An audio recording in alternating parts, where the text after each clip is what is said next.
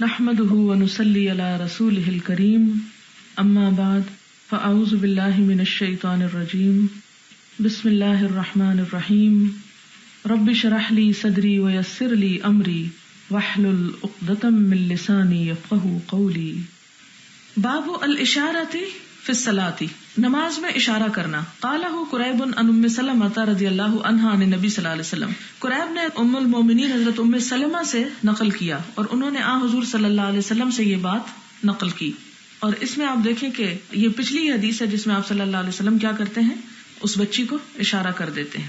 حدثنا قطيبة بن سعيد حدثنا يعقوب بن عبد الرحمن عن ابي حازم، عن سهل بن سعد الساعدي رضي الله عنه ان رسول الله صلی اللہ علیہ وسلم بلغه ان بني عمرو بن عوف كان بينهم شيء، کہ بنو عمر بن عوف کے درمیان کوئی جھگڑا ہو گیا، یہ پیچھے بھی حدیث گزر چکی ہے۔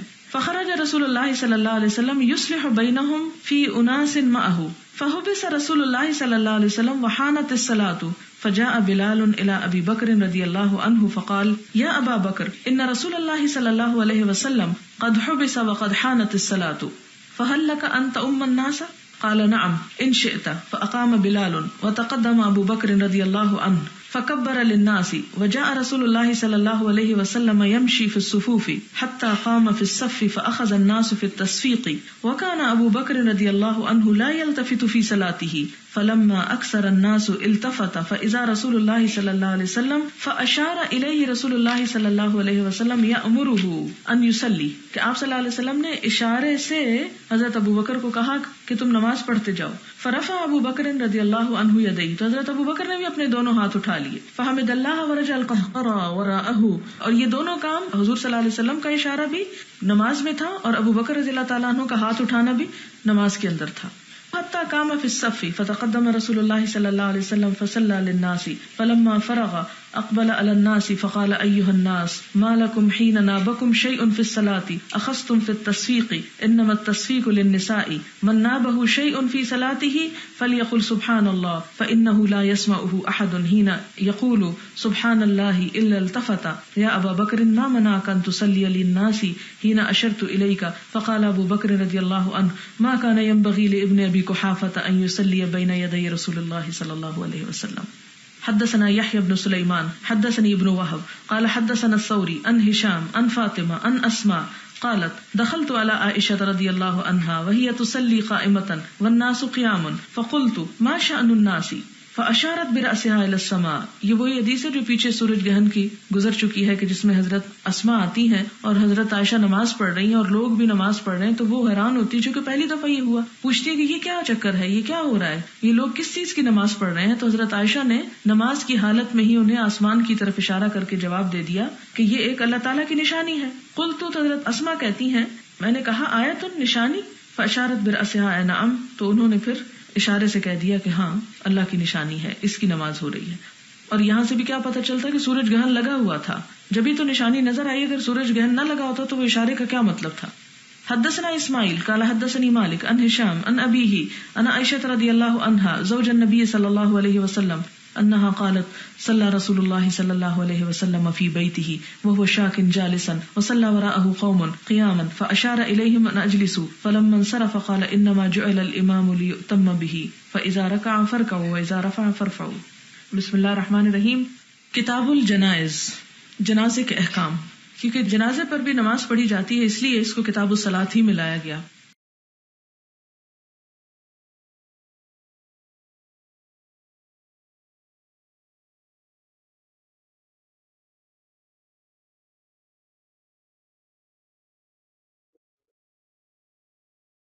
باب فل جنائز ومن کا نا آخر کلامی ہی لا الہ الا اللہ، جس شخص کا آخری کلام لا الہ الا اللہ ہوا وکیل الواحب بن منبع اور وحب بن منبع سے کہا گیا علیہ مفتاح الجنت لا الہ الا اللہ؟ کیا جنت کی کنجی لا الہ الا اللہ نہیں ہے؟ قال بلا۔ انہوں نے کہا جی ہاں۔ ولا کن لئی مفتاح اللہ لہو اسنان۔ لیکن کوئی چابی یا کنجی ایسی نہیں ہوتی کہ جس کے دندانے نہ ہوں۔ ان جئت بمفتاح لہو اسنان اگر تم ایسی چابی لاؤ گے کہ جس کے دندانے ہوں گے، فتح لک، تو تیرے لیے کھول دیا جائے گا۔ وہ اللہ لم یوف ادر وائز نہیں کھولا جائے گا۔ مراد یہ کہ اگر کنجی تو ہو، لیکن آگے اس کے دندانے نہیں اور دندانوں سے مراد عمل ہے۔ یعنی لا الہ الا اللہ تو پڑھا ہو، لیکن کوئی عمل نہیں کیا، تو ایسا لا الہ الا اللہ پڑھنا جنت کا دروازہ نہیں کھولے گا۔ اس کے نمبر کے ساتھ نمبر ملتا ہو۔ اور اس میں آپ دیکھیں کہ مثلاً ہر کنجی سے ہر تالا نہیں کھلتا۔ تالا کھولنے کے لیے کون سی کنجی چاہیے ہوتی ہے؟ وہ جو اسی تالے کی ہو۔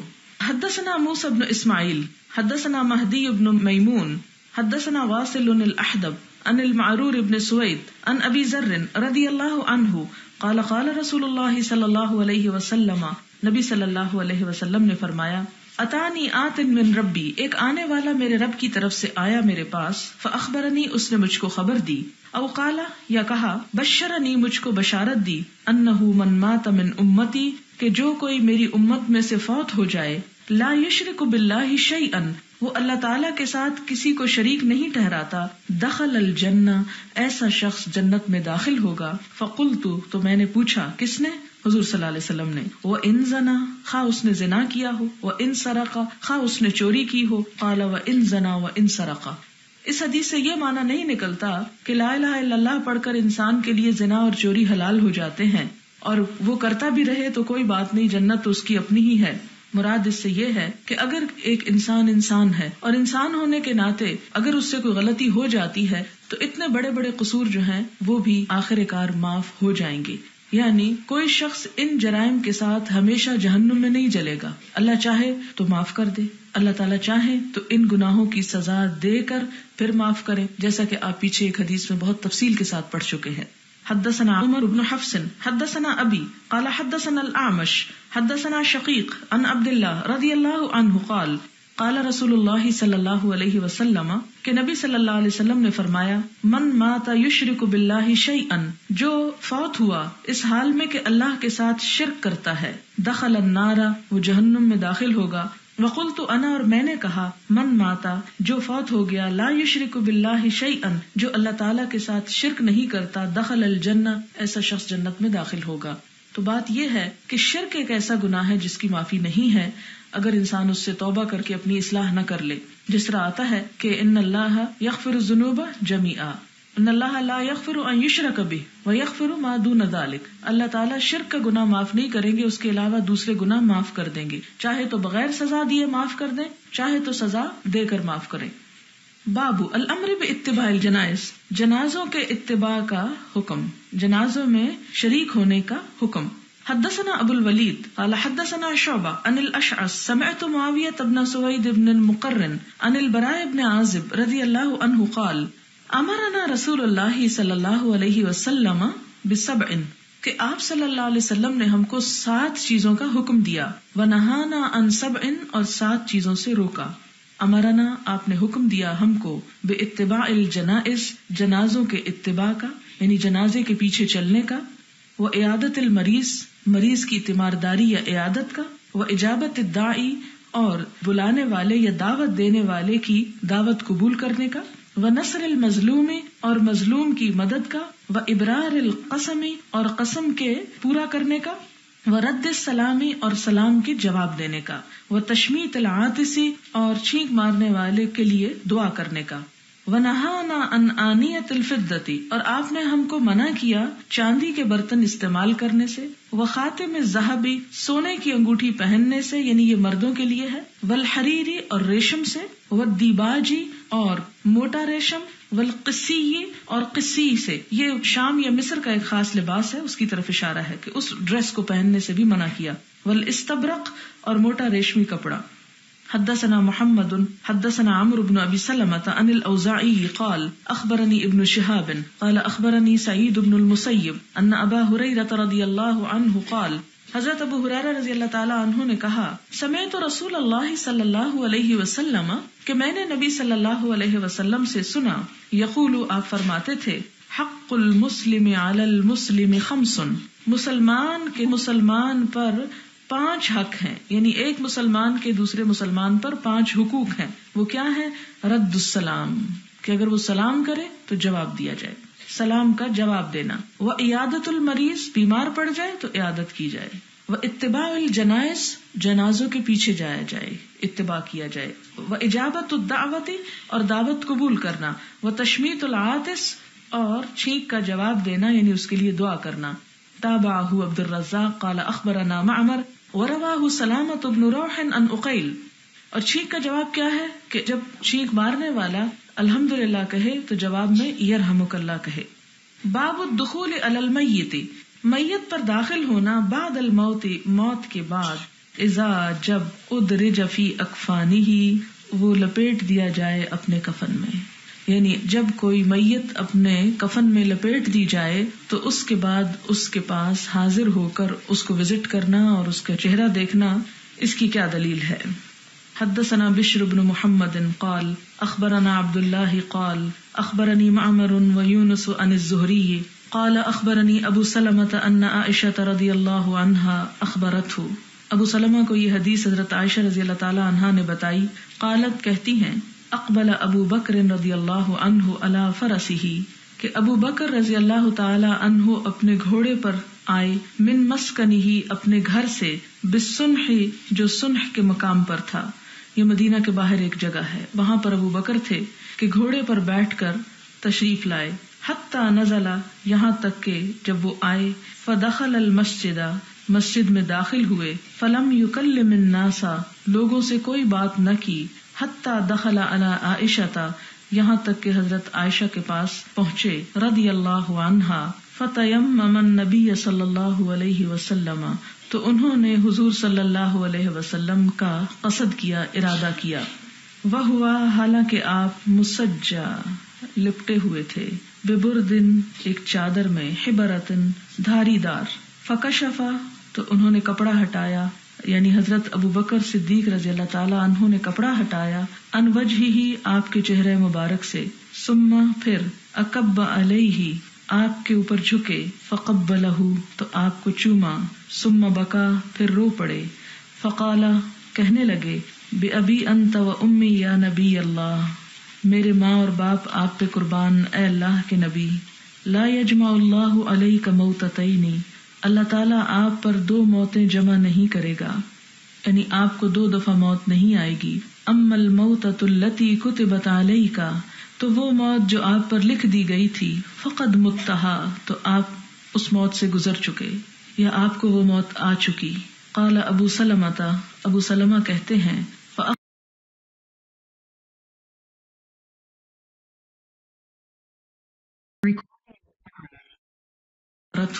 ابو سلمہ کو یہ حدیث حضرت عائشہ رضی اللہ تعالی عنہا نے بتائی، قالت، کہتی ہیں، اقبل ابو بکر رضی اللہ عنہ علی فرسه کہ ابو بکر رضی اللہ تعالی عنہ اپنے گھوڑے پر آئے، من مسکنی ہی اپنے گھر سے بسنح جو سنح کے مقام پر تھا۔ یہ مدینہ کے باہر ایک جگہ ہے۔ وہاں پر ابو بکر تھے کہ گھوڑے پر بیٹھ کر تشریف لائے۔ حتیٰ نزلہ یہاں تک کہ جب وہ آئے، فدخل المسجد مسجد میں داخل ہوئے۔ فلم یکلم الناسا لوگوں سے کوئی بات نہ کی۔ حتیٰ دخل علی عائشہ یہاں تک کہ حضرت عائشہ کے پاس پہنچے۔ رضی اللہ عنہا۔ فتیم نبی صلی اللہ علیہ وسلم۔ تو انہوں نے حضور صلی اللہ علیہ وسلم کا قصد کیا، ارادہ کیا۔ وہ ہوا حالانکہ آپ مسجا لپٹے ہوئے تھے۔ بے دن ایک چادر میں ہبرتن دھاری دار فکشفا تو انہوں نے کپڑا ہٹایا۔ یعنی حضرت ابو بکر صدیق رضی اللہ تعالیٰ انہوں نے کپڑا ہٹایا ان وج ہی آپ کے چہرے مبارک سے۔ سما پھر اکب علیہ، آپ کے اوپر جھکے فقب لہو تو آپ کو چوما۔ سما بکا، پھر رو پڑے۔ فقالا کہنے لگے بے ابھی انت و امی یا نبی اللہ۔ میرے ماں اور باپ، آپ پہ قربان، اے اللہ کے نبی۔ لا یجما اللہ علیہ کا موت اللہ تعالیٰ آپ پر دو موتیں جمع نہیں کرے گا یعنی آپ کو دو دفعہ موت نہیں آئے گی۔ ام الموت التی کتبت علیہ کا تو وہ موت جو آپ پر لکھ دی گئی تھی، فقد متحا تو آپ اس موت سے گزر چکے، یا آپ کو وہ موت آ چکی۔ قال ابو سلمتا ابو سلمہ کہتے ہیں اخبرنی ابن عباس رضی اللہ عنہما، مجھے ابن عباس نے خبر دی، ان ابا بکر رضی اللہ عنہ خرجا۔ یعنی حضور صلی اللہ علیہ وسلم کا چہرہ مبارک دیکھ کر، چوم کر، یہ بات کہہ کر حضرت ابو بکر باہر آ گئے۔ وہ عمر رضی اللہ عنہ یکلم الناسا اور حضرت عمر لوگوں سے باتیں کر رہے تھے۔ فقالا، تو کہا، اجلس، بیٹھو۔ حضرت ابو بکر نے حضرت عمر سے کہا کہ بیٹھ جاؤ۔ فابا تو عمر نے انکار کیا۔ فتشاہد ابو بکر رضی اللہ عنہ۔ تو حضرت ابو بکر رضی اللہ تعالیٰ عنہ نے کلمہ شہادت پڑھا۔ فمالا الیہ الناس، تو لوگ ان کی طرف لپک گئے، مائل ہو گئے۔ و ترا کو عمرا اور حضرت عمر کو چھوڑ دیا، اور سب لوگوں نے حضرت ابو بکر کی طرف توجہ کی۔ فقالا، تو حضرت ابو بکر نے کہا، اما بعد، فمن کا نمن کم تو جو کوئی تھا تم میں سے یا ابود محمد صلی اللہ علیہ وسلم۔ محمد صلی اللہ علیہ وسلم کی عبادت کرتا فن محمد صلی اللہ علیہ وسلم قدماتا تو محمد صلی اللہ علیہ وسلم تو فوت ہو چکے ہیں۔ ومن کا نہ یا ابود اللہ اور جو کوئی اللہ کی عبادت کرتا تھا فن اللہ حی اللہ یموت تو اللہ تعالیٰ زندہ ہے نہیں مریں گے۔ قال اللہ تعالی اللہ تعالیٰ کا ارشاد ہے قرآن پاک میں۔ وما محمد اللہ رسول، کہ محمد صلی اللہ علیہ وسلم اس کے سوا کچھ نہیں کہ ایک رسول ہیں۔ قد خلط تحقیق گزر چکے۔ من قبل رسولو آپ سے پہلے بھی کئی رسول۔ افا اماتا کیا بھلا اگر وہ مر جائیں؟ او قتلا، یا قتل کر دیے جائیں۔ ان قلب تم تو لوٹ جاؤ گے تم۔ اللہ آقاب اپنی ایڑیوں پر۔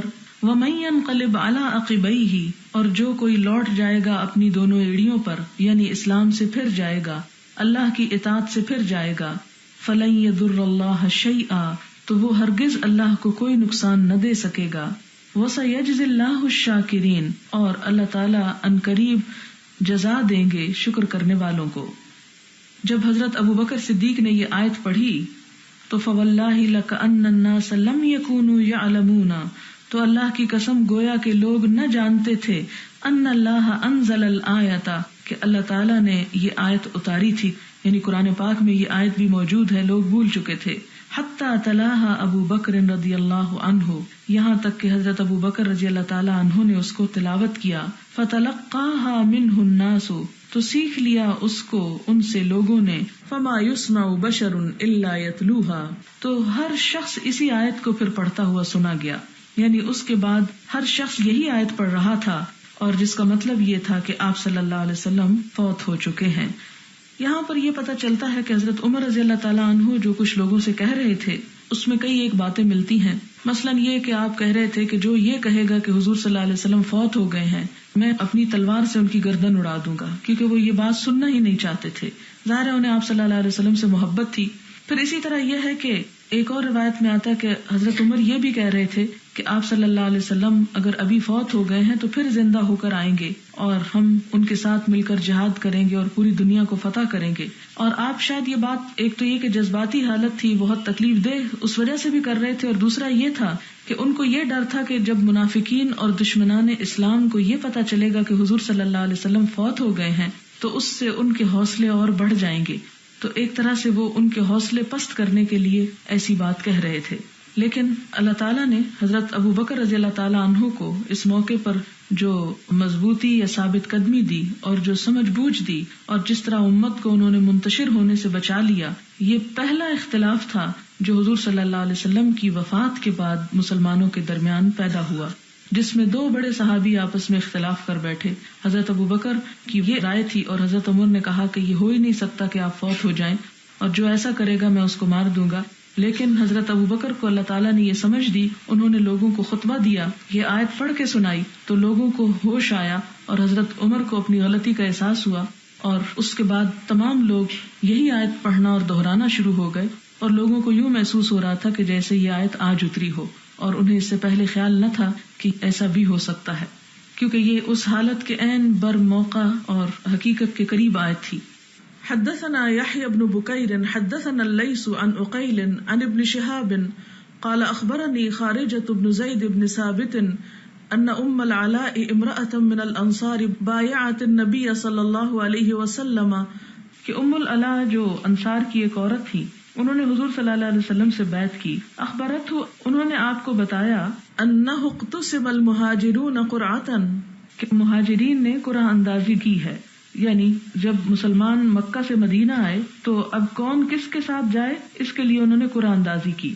فتار لنا عثمان ابن مزون تو ہمارے حصے میں عثمان بن مزون آئے، یہ وہ خاتون ام اللہ کہتی ہیں۔ فنزلنا فی ابیاتنا، تو ہم نے آپ کو اپنے گھر میں اتارا۔ فوجا وجہ الزی توفی افی تو ان کو وہ بیماری آ گئی جس میں آپ فوت ہو گئے۔ فلما توفیا، تو جب عثمان ابن مزون فوت ہو گئے، وہ غسلا اور غسل دے دیے گئے، وہ کفنا اور کفن دیے گئے فی اسواب ہی اپنے کپڑوں میں۔ دخل رسول اللہ صلی اللہ علیہ وسلم، تو آپ صلی اللہ علیہ وسلم تشریف لے گئے۔ فقل تو رحمت اللہ علیہ کا ابسا تو میں نے کہا کہ رحمت ہو اللہ کی آپ پر، اے ابو صاحب یہ ابو عثمان ابن مزون کی کنیت تھی۔ فشہادتی علیہ کا تو میری گواہی ہے تجھ پر۔ لقد اکرم اللہ کہ اللہ نے تجھ کو عزت دی۔ فقال نبی صلی اللہ علیہ وسلم، تو نبی صلی اللہ علیہ وسلم نے فرمایا، وما یدری کی اور تجھے کیسے پتا چلا اے ام اللہ ان اللہ قد اکرم کہ اللہ تعالیٰ نے اس شخص کو عزت عطا کی ہے۔ اور کہا جاتا ہے کہ عثمان ابن مزون جو تھے، یہ تحویل کعبہ سے پہلے فوت ہو گئے تھے مدینہ پہنچ کر۔ فکل تو تو ام اللہ کہتی ہے، میں نے کہا، بے ابھی انت یا رسول اللہ، میرا باپ آپ پہ قربان ہے اللہ کے رسول صلی اللہ علیہ وسلم فمئی مح اللہ، تو پھر کس کو اللہ عزت دے گا؟ اگر اللہ ایسے لوگوں کو عزت نہیں دے گا جو اس کی خاطر اپنا گھر بار سب کچھ چھوڑ کر مدینہ آ گئے، تو پھر اور عزت کس کے لیے ہوگی؟ فقال علیہ السلاۃ وسلام تو حضور صلی اللہ علیہ وسلم نے فرمایا، اما ہوا فقط جا اہل یقین کہ جہاں تک اس کا تعلق ہے، تو آ گیا اس کے پاس یقینی فیصلہ۔ ان نیلا ارجو لہ الخیر، میں بھی اللہ کی قسم اس کے لیے خیر اور بھلائی کی امید رکھتا ہوں۔ واللہ ما ادری و ان رسول اللہ اللہ کی قسم میں نہیں جانتا اور میں اللہ کا رسول ہوں۔ ما یو فالو بھی کہ میرے ساتھ کیا کیا جائے گا۔ قالت، تو وہ کہنے لگی، ام اللہ فواللہ لا ازکی احدا بعدہ ابدا۔ کہ آپ صلی اللہ علیہ وسلم کی یہ بات سن کر اس کے بعد میں نے کبھی کسی کے بارے میں ایسے کلمات نہیں کہے اور کسی کا تزکیہ نہیں کیا۔ اس سے مراد کیا ہے؟ مراد یہ ہے کہ یعنی اس حدیث کا خلاصہ یہ بنتا ہے کہ مہاجرین جب مکہ سے مدینہ آئے تو انصار نے ان کو ویلکم کیا۔ اب ہوا یہ کہ کوئی ایک ہاسٹل یا کوئی ایک گھر نہیں بنایا گیا کہ جس میں سب کو رکھا گیا، بلکہ جو بھی آنے والے تھے، قرآن اندازی کر کے مختلف لوگوں کو مختلف لوگوں کے ساتھ بھیج دیا گیا۔ تو ام اللہ کہتی ہے کہ ہمارے حصے میں، ہمارے گھر میں عثمان بن مزون آئے اور پھر اس کے بعد وہ جلد ہی فوت بھی ہو گئے۔ وہ حضور صلی اللہ علیہ وسلم کو اطلاع دیتی ہیں اور جب ان کا غسل بھی ہو چکا ہوتا ہے، کفن بھی پہنایا جا چکا ہوتا ہے، تو آپ صلی اللہ علیہ وسلم ان کے پاس اس حالت میں داخل ہوتے۔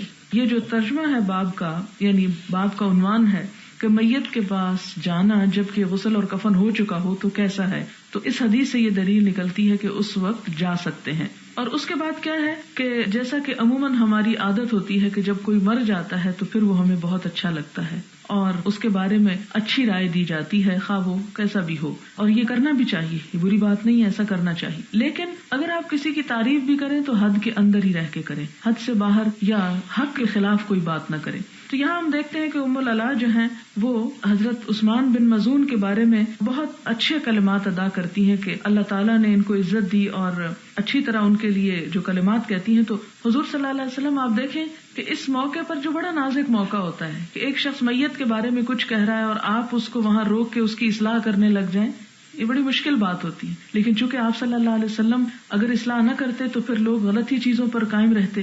تو آپ صلی اللہ علیہ وسلم نے ایک طرح سے اس چیز کو زیادہ پسند نہ کیا کہ کسی کے بارے میں بھی ایسے الفاظ کہے جائیں کہ ہاں فلاں شخص تو اللہ کے ہاں بہت ہی عزت پائے گا اور اس کے درجے اور مقام تو بہت بلند ہوں گے۔ ایسے دعوے نہیں کرنے چاہیے۔ کیوں؟ اس لیے کہ کسی انسان کو خواہ وہ کتنا بھی نیک کیوں نہ ہو، کچھ پتا نہیں کہ اس کا آخرت میں کیا مقام ہوگا۔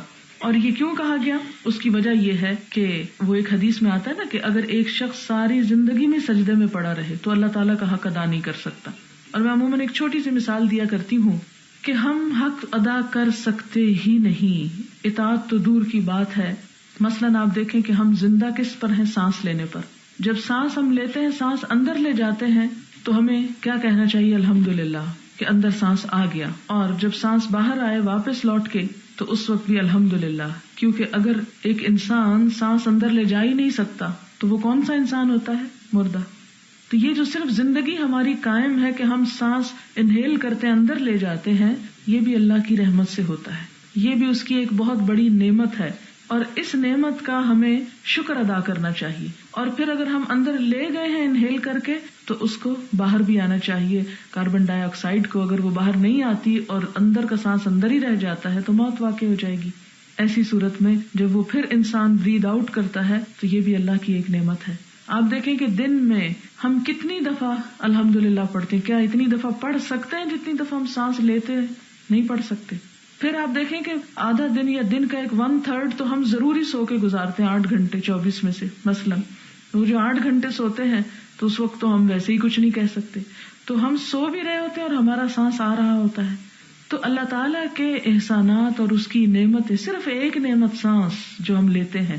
اور مفت میں لیتے کوئی بل پے نہیں کرتے۔ اس کا ہی ہم تو شکر ادا نہیں کر سکتے۔ کہاں یہ کہ ہم باقی نعمتوں کا کریں اور پھر کہاں یہ کہ ناراض ہو کے بیٹھ جائیں کہ اچھا اللہ تعالیٰ فلاں چیز نہیں دی، اس لیے میں نماز نہیں پڑھتا۔ نہیں، اس کے تو اتنے احسانات ہیں کہ ان کا تو شکر ادا کر، اسی لیے اللہ تعالیٰ فرماتے ان تعدو نعمت اللہ اللہ تفسوہا اگر اللہ کی نعمتیں گننے لگو، گن نہیں سکتے۔ ہم اپنے سانس نہیں گن سکتے، اپنے دل کی دھڑکن نہیں گن سکتے۔ کبھی گننے کا ٹائم ہی نہیں ملتا۔ اگر کبھی ایک منٹ کے لیے نبز دیکھنی پڑے اپنی، تو کئی دفعہ غلطی کر جاتے ہیں اچھا ساٹھ تھی کہ ستر تھی، اسی میں کنفیوز رہتے ہیں۔ ہم تو اپنی اس دھڑکن کو بھی نہیں گن سکتے اور اس سارے سسٹم میں جو کچھ ہم کنزیوم کر رہے ہیں اور جس طرح ہمارے عقل اور شعور کے بغیر یہ سارا سسٹم کام کر رہا ہے۔ یعنی ہم سوچ کے تھوڑی سانس لیتے ہیں کہ اچھا اب اندر گیا ہے اور کیسے وہ خون صاف ہو رہا ہے اور کس طرح وہ باہر آ رہا ہے اور کس طرح بلڈ سرکولیٹ کر رہا ہے، کہاں کہاں سے گزر رہا ہے۔ ہم تو اس سارے پروسیجر سے بھی واقف نہیں کہ ہو کیا رہا ہے ہمارے ساتھ۔ تو یہ سب انگنت نعمتیں جو اللہ تعالیٰ نے ہم کو عطا کی ہیں اس کا احسان ہمیں ماننا چاہیے اور شکر ادا کرنا چاہیے۔ لہذا کوئی یہ نہیں کہہ سکتا کہ میں نے اتنی نیکی کر لی کہ میں نے اللہ کا حق ادا کر دیا۔ ہو ہی نہیں سکتا حق ادا۔ جب حق ادا نہیں ہو سکتا تو ہمیں یہ بھی دعویٰ کرنے کا کوئی حق نہیں کہ ہم کہیں کہ جی مجھے تو ضرور جنت میں جانا ہے یا فلاں شخص تو ہر صورت میں جنت میں پہنچے گا۔ نہیں، کوئی بھی نہیں پتا کہ اس کے ساتھ کیا ہوتا ہے۔ اس موقع پر آپ صلی اللہ علیہ وسلم نے کسی دوسرے کی بات نہیں کی۔ کہ کیا پتا اس کے ساتھ کیا ہو۔ آپ فرماتے ہیں، میں بھی اس کے بارے میں حسن زن رکھتا ہوں کہ ایک بہت اچھے انسان تھے۔ اور کہا جاتا ہے کہ ان کی قبر میں آپ صلی اللہ علیہ وسلم خود اترے۔ لیکن اس کے باوجود آپ نے کیا فرمایا؟ ماں ادری ما یوف الوبی یہ قرآن کی آیت ہے۔ مجھے نہیں معلوم کہ میرے ساتھ کیا ہوگا۔ اب اس پر بڑا لوگوں نے اعتراض کیا اور غیر مسلموں نے اعتراض کیا کہ جب مسلمانوں کے پیغمبر کو اپنی نجات کا نہیں علم تو دوسروں کی نجات کیا کروائیں گے اور شفات کیسے کرا سکیں گے؟ تو یہ ایک بہت ہی غلط ناروا بات تھی۔ بات یہ ہے کہ سورت الفتح میں اللہ تعالیٰ نے واضح طور پہ فرما دیا کہ آپ کے اگلے پچھلے سب گنا معاف کر دیے گئے۔ اور پیغمبر کا گناہ کیا تھا؟ خلاف اولا کام۔ آپ کے سب قصور معاف کر دی گناہ کا لفظ نہیں بولنا چاہیے، قصور معاف کر دیے گئے۔ لیکن اس کے باوجود آپ دیکھیں کہ حضرت عمر کیا کہتے تھے؟ کہ اگر آسمان سے یہ پکار آئے کہ ایک شخص کے علاوہ سب معاف کر دیے گئے تو میں سمجھوں گا، وہ ایک شخص میں ہوں۔ وہ جس کا پیچھے حدیث میں بھی ذکر ہوا۔ پھر آپ دیکھیں کہ آپ صلی اللہ علیہ وسلم نے یہ کیوں کہا پھر کہ میں نہیں جانتا میرے ساتھ کیا کیا جائے گا؟ ایک تو یہ کہ اللہ تعالیٰ نے قرآن پاک میں اتارا، اس آیت کو آپ نے فرمایا۔ دوسری بات یہ ہے کہ آپ صلی اللہ علیہ وسلم اپنی شان بندگی جو تھی، اس کو ملحوظ خاطر رکھتے تھے۔ اور اللہ سبحان تعالیٰ کے سامنے اور اپنے تعلق کو اللہ تعالیٰ کے ساتھ اتنا مضبوط پانے کے باوجود اللہ تعالیٰ پر اپنا احسان نہیں رکھتے تھے۔ کہ اللہ تعالیٰ آپ کو مجھے تو ضروری بخشنا پڑے گا، اس لیے کہ میں نے تو بہت سارے لوگوں کو ہدایت دے دی اور میں تو تمام جہانوں کے لیے رحمت بن کے آیا نہیں۔ اور اس لیے بھی کہ آپ صلی اللہ علیہ وسلم ہمارے لیے نمونہ ہے باوجود اس کے کہ آپ کو پروانہ مل گیا تھا ہر چیز کا، آپ اپنے بارے میں کوئی ایسی بات اس لیے نہیں کہتے کہ اگر آپ کہتے تو ہم ان سے بڑھ کے کہتے۔ ہم بھی ایسے بہت بڑے بڑے دعوے کرنے لگتے۔ اور باوجود اس کے کہ آپ نے تو اپنے بارے میں یہ کہا اور ہم کیا سمجھتے ہیں اور ہم کیا کرتے ہیں؟ کہ ہم تو جہنم میں جا ہی نہیں سکتے۔ اور وہ تو کسی اور ہی کے لیے ڈرتے ہی نہیں ہے نا۔ کبھی سوچا کہ وہ ہمارے لیے بھی ہو سکتی۔ اور پھر اس میں ایک چیز اور بھی دیکھے کہ یہود بھی یہی کہا کرتے تھے۔ وقالو لن تمسن النار اللہ ایام معدودہ اور کہتے تھے نہ ابنا اللہ و احبا کہ ہم اللہ کے بیٹے اور ہم اللہ کے بڑے پیارے ہیں۔ لیکن ہم دیکھتے ہیں کہ اشرۂ مبشرہ، وہ دس لوگ جنہیں دنیا میں آپ صلی اللہ علیہ وسلم نے جنت کی بشارت دی ان میں سے بھی کوئی ایسا نہیں تھا جو اپنے بارے میں یہ کہتا ہو کہ میں نے تو ضرور جنت میں پہنچنا ہے، کیونکہ مجھے تو سرٹیفکیٹ مل چکا ہے۔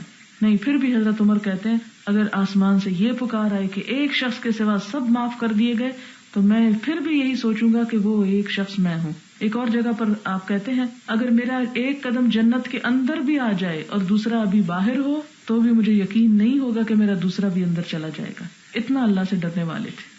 حدثنا سعيد بن عفير قال حدثنا الليث مثله، وقال نافع بن يزيد عن أقيل ما يفعل به، وتابع شعيب وعمر بن دينار ومعمر.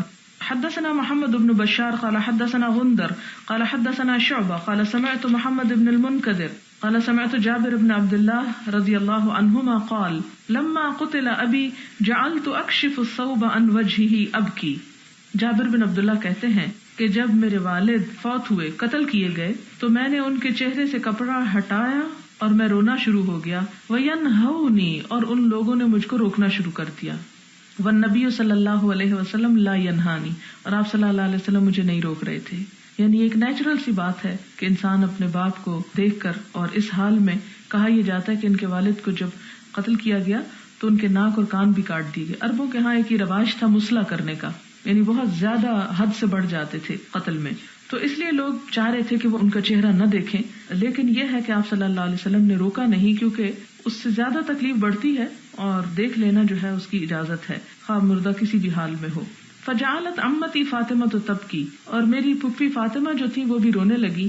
فقال نبی صلی اللہ علیہ وسلم، تبکینا اولا تبکینا۔ تو آزر صلی اللہ علیہ وسلم نے فرمایا، تو رو یا نہ رو، فما ضالت الملائے کا تو تو مسلسل فرشتے اس کو سایہ کیے ہوئے ہیں۔ بے اجنحتہا اپنے پروں کے ساتھ۔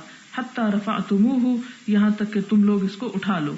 تابع ابن جریج اخبران ابن المنقذ سمیع جابر رضی اللہ عنہ۔ مراد یہ ہے کہ چونکہ شہید ہوئے تھے، اس لیے فرشتے ان کے اوپر پروں کا سایہ کیے ہوئے تھے، تو ان کی بہن کو تسلی دینے کے یہ الفاظ ہیں۔ تم رو یا نہ رو، فرشتوں کا سایہ ہے اس پر۔ اس لیے رونے کی بھی اجازت ہے اور نہ بھی رو تو اچھا ہے، کیونکہ ان کا انجام بہت بہتر ہے۔ یعنی جب تک یہ جنازہ اٹھتا نہیں، اس وقت تک فرشتوں کا ان پہ سایہ ہے۔ باب الرجل الى اهل المیت بنفسه نون عین یہ کا مطلب ہوتا ہے موت کی خبر دینا۔ کسی شخص کا خود سے میت کے وارثوں کو موت کی خبر دینا۔ یعنی مثال کے طور پر اگر ایک انسان ہے اور اس کے گھر میں اس کے والد ہیں اور وہ فوت ہو گئے ہیں، تو وہ اپنے بہن بھائیوں کو اس کی خبر دے رہا ہے۔ کیا یہ کر سکتا ہے؟ اس کی اجازت ہے یا وہ کسی اور کو کہے گا اور وہ خبر دیں گے؟ حدثنا اسماعيل قال حدثني مالك عن ابن شهاب عن سعيد بن المسيب عن ابي هريره رضي الله عنه ان رسول الله صلى الله عليه وسلم نعى النجاشي في اليوم الذي مات فيه. کہ نبی صلی اللہ علیہ وسلم نے نجاشی کے مرنے کی خبر دی. اس دن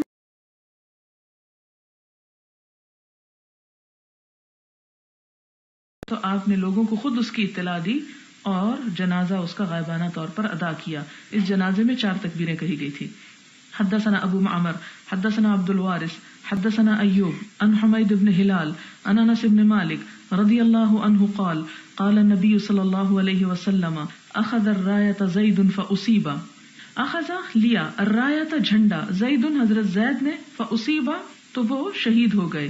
ثم اخذها جعفر، پھر حضرت جعفر نے لیا، جعفر طیار جن کو کہا جاتا ہے فاصیبہ تو وہ بھی شہید ہو گئے. ثم اخذ عبد الله بن رواحہ پھر حضرت عبداللہ بن رواحہ نے جھنڈا اٹھایا فاصیبہ تو وہ بھی شہید ہو گئے۔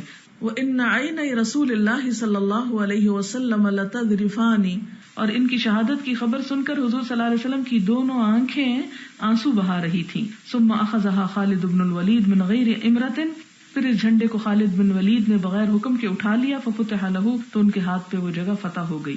یہ آٹھ ہجری میں ایک جنگ ہوئی تھی بلقا کے علاقے میں، شام کے پاس، جس میں مسلمان صرف تین ہزار تھے اور کافر بے شمار۔ تو حضور صلی اللہ علیہ وسلم نے حضرت زید بن حارثہ کو جو آپ کے منہ بولے بیٹے بھی تھے، ان کو لشکر کا سردار بنا کر بھیجا اور ان کے ساتھ دو اور بھی بھیجے، جعفر اور عبداللہ بن روا اب آپ دیکھیں کہ آپ نے ان کو یہ تلقین کی کہ اگر شہید ہو جائے زید تو جھنڈا اٹھا لیں جعفر اور اگر جعفر شہید ہو جائے تو عبداللہ بن روا اور اتفاق یہ ہوا کہ تینوں ہی باری باری شہید ہو گئے۔ تو اس پر اب دیکھتے ہیں کہ تینوں سردار یا تینوں قائدین مارے گئے۔ تو اس پر بھی مسلمانوں نے حوصلہ نہیں ہارا۔ خالد بن ولید اٹھے اور انہوں نے جھنڈا اٹھایا اور صفیں درست کی اور دشمن سے لڑے اور کامیاب ہو کر لوٹے۔ اب اس سے پتہ ہی چلتا کہ آپ صلی اللہ علیہ وسلم شہید پر بھی روئے ہیں۔ یعنی شہادت پر بھی رونا جائز ہے اور رو سکتے ہیں۔ اور رونا جو ہے وہ اسلام کے خلاف نہیں ہے۔ پھر اسی طرح آپ دیکھتے ہیں کہ آپ صلی اللہ علیہ وسلم کیوں رو رہے تھے؟ اس میں ایک تو آپ کے منہ بولے بیٹے تھے، حضرت زید سے آپ کو بہت پیار تھا۔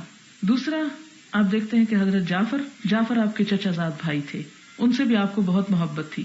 عبداللہ بن روا وہ آپ کے عزیز ترین ساتھیوں میں سے تھے، جو آپ کی شان میں شیر بھی کہتے تھے۔ ان کے شیر بہت عمدہ تھے۔ آپ کے عزیز ترین یعنی ایک منہ بولا بیٹا ہے، ایک کزن ہے اور ایک دوست ہے۔ تو یکا یک تین لوگوں کی جو شہادت ہے وہ آپ کے اوپر بہت بھاری گزری۔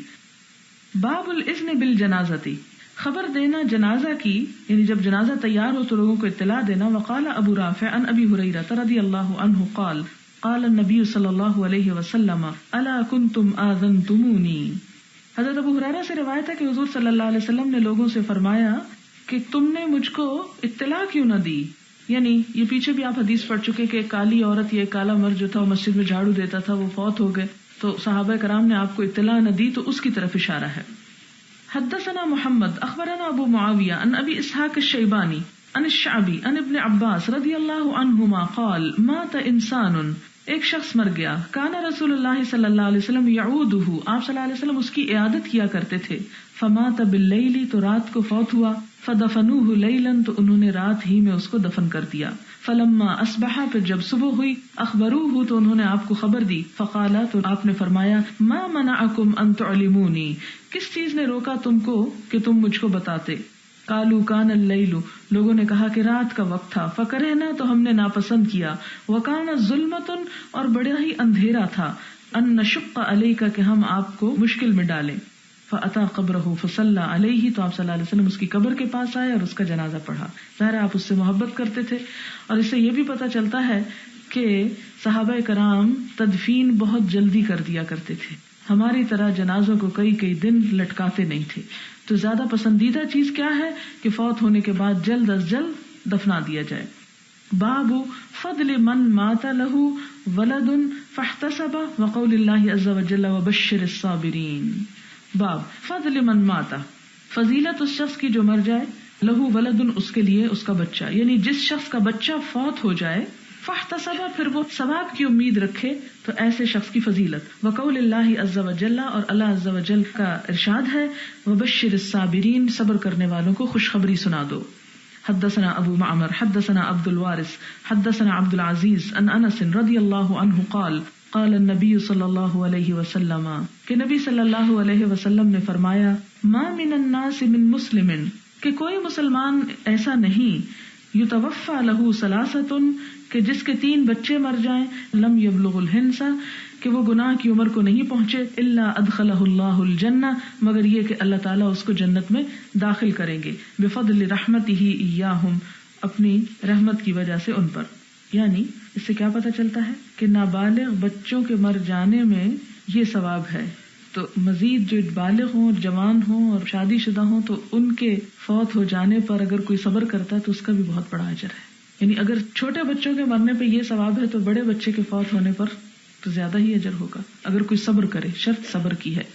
حدثنا مسلم، حدثنا شعبہ، حدثنا عبد الرحمن ابن الاسبہانی ان زکوان ان ابی سعید رضی اللہ عنہ ان النساء قلن للنبی صلی اللہ علیہ وسلم، کہ عورتوں نے نبی صلی اللہ علیہ وسلم سے کہا، اجعل لنا یومن کہ ہمارے لیے آپ ایک دن مقرر کریں۔ فوعظہن، تو آپ نے ان کو نصیحت کی۔ فقال تو آپ صلی اللہ علیہ وسلم نے فرمایا، ایما امراۃ کوئی بھی عورت ماتلحا سلاستن فوت ہو جائے اس کے تین بچے من الولد بچوں میں سے۔ کانو حجاب من الناری وہ اس عورت کے لیے آگ سے آڑ بن جائیں گے یعنی اسے جہنم میں جانے سے روکیں گے یعنی جہنم کا آڑ ہو جائیں گے، پردہ ہو جائیں گے۔ قالت امراۃن ایک عورت کہنے لگی، وسنانی اور دو بچے؟ کالا وسنانی، آپ نے فرمایا اور دو بھی۔ وہ کالا شریکن، اور شریک کہتے ہیں، ان ابن الاسبہانی حدثنی ابو صالح، ان ابی سعید و ابی حریرہ ان نبی صلی اللہ علیہ وسلم۔ قال ابو حریرہ لم یبلغ الحنسا کہ وہ چھوٹے بچے جو ابھی گناہ کی عمر کو نہ پہنچے ہوں یعنی نابالغ ہوں۔ کیونکہ بلوغت کے بعد تو پھر حساب لکھا جانے لگتا ہے انسان کا۔ حدثنا علی، حدثنا سفیان، قال سمعت الزهري عن سعید ابن المسیب عن ابی حریرہ رضی اللہ عنہ ان النبی صلی اللہ علیہ وسلم۔ نبی صلی اللہ علیہ وسلم نے فرمایا، قال، لا يموت لمسلم ثلاثه من الولد فيلج النار الا تحلت القسم، کہ جس انسان کے تین بچے فوت ہو جائیں پھر بھی وہ جہنم میں داخل ہو تو یہ صرف قسم اتارنے کے لیے ہے۔ یعنی پھر وہ جہنم سے باہر آ جائے گا۔ مراد یہ ہے۔ باب قول رجل للمرأة عند القبر اسبری ایک عورت قبر کے پاس ہو اور کوئی شخص اس سے کہے کہ صبر کرو۔ یعنی قبر کے پاس اگر کوئی رو رہا ہو یا کوئی بے چین ہو رہا ہو تو اس کو بھی صبر کی تلقین کرنی چاہیے۔ حدثنا آدم، حدثنا شعبہ، حدثنا ثابت ان انس ابن مالک رضی اللہ عنہ قال حضرت انس کہتے ہیں کہ مر نبی صلی اللہ علیہ وسلم عند قبر. آپ صلی اللہ علیہ وسلم ایک قبر کے پاس سے گزرے جس پر ایک عورت کھڑی تھی. وہی اتب کی اور وہ رو رہی تھی. فقال اتق اللہ وصبری. تو آپ صلی اللہ علیہ وسلم نے فرمایا، اللہ سے ڈرو اور صبر کرو. یعنی مت رو. اس سے دو باتیں پتہ چلتی ہیں۔ ایک تو یہ کہ عورتیں کبھی کبھار قبرستان جا سکتی ہیں، کیونکہ آپ صلی اللہ علیہ وسلم نے اس کو یہ تو کہا کہ اللہ سے ڈرو اور صبر کرو، یہ نہیں کہا کہ قبرستان سے نکل جاؤ، تم کیوں آئی یہاں؟ تمہیں تو آنے کی اجازت ہی نہیں۔ اور دوسری بات یہ پتہ چلتی ہے کہ اسلام نے جو قبرستان جانے سے روکا ہے، وہ اسی لیے کہ عورتیں کمزور دل کی مالک ہوتی ہیں، وہاں جا کر صبر نہیں کر سکتی۔ اور شاید اس بے صبری میں کوئی ایسا کام کر بیٹھے کہ جس سے اللہ تعالیٰ ناراض ہوں۔ باب غسل المیت و ودو ہی بلما و صدری میت کو غسل دینا اور اس کو وضو کروانا بلما پانی کے ساتھ و صدری اور بیری. بیری کا ذکر اس لیے کہ اس زمانے میں صابن نہیں ہوتا تھا۔ اور آج اگر بیری کے پتے مل جائے تو افضل ہے، لیکن اگر نہ بھی ملے تو صرف صابن بھی کافی ہو جائے گا۔ وحنت ابن عمر رضی اللہ عنہما ابن السعید ابن زید اور خوشبو لگائی عبداللہ بن عمر نے سعید بن زید کے بچے کو۔ وحملہ اور اس کو اٹھایا وسلح اور جنازے کی نماز پڑھی، ولم یا تودا اور انہوں نے وضو نہیں کیا۔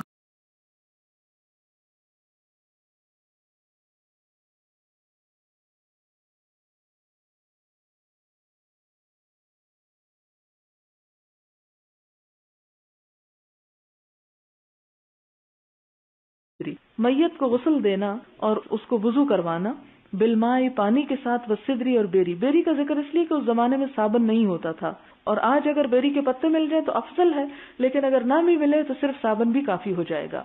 وحنت ابن عمر رضی اللہ عنہما ابن السعید ابن زید اور خوشبو لگائی عبداللہ بن عمر نے سعید بن زید کے بچے کو۔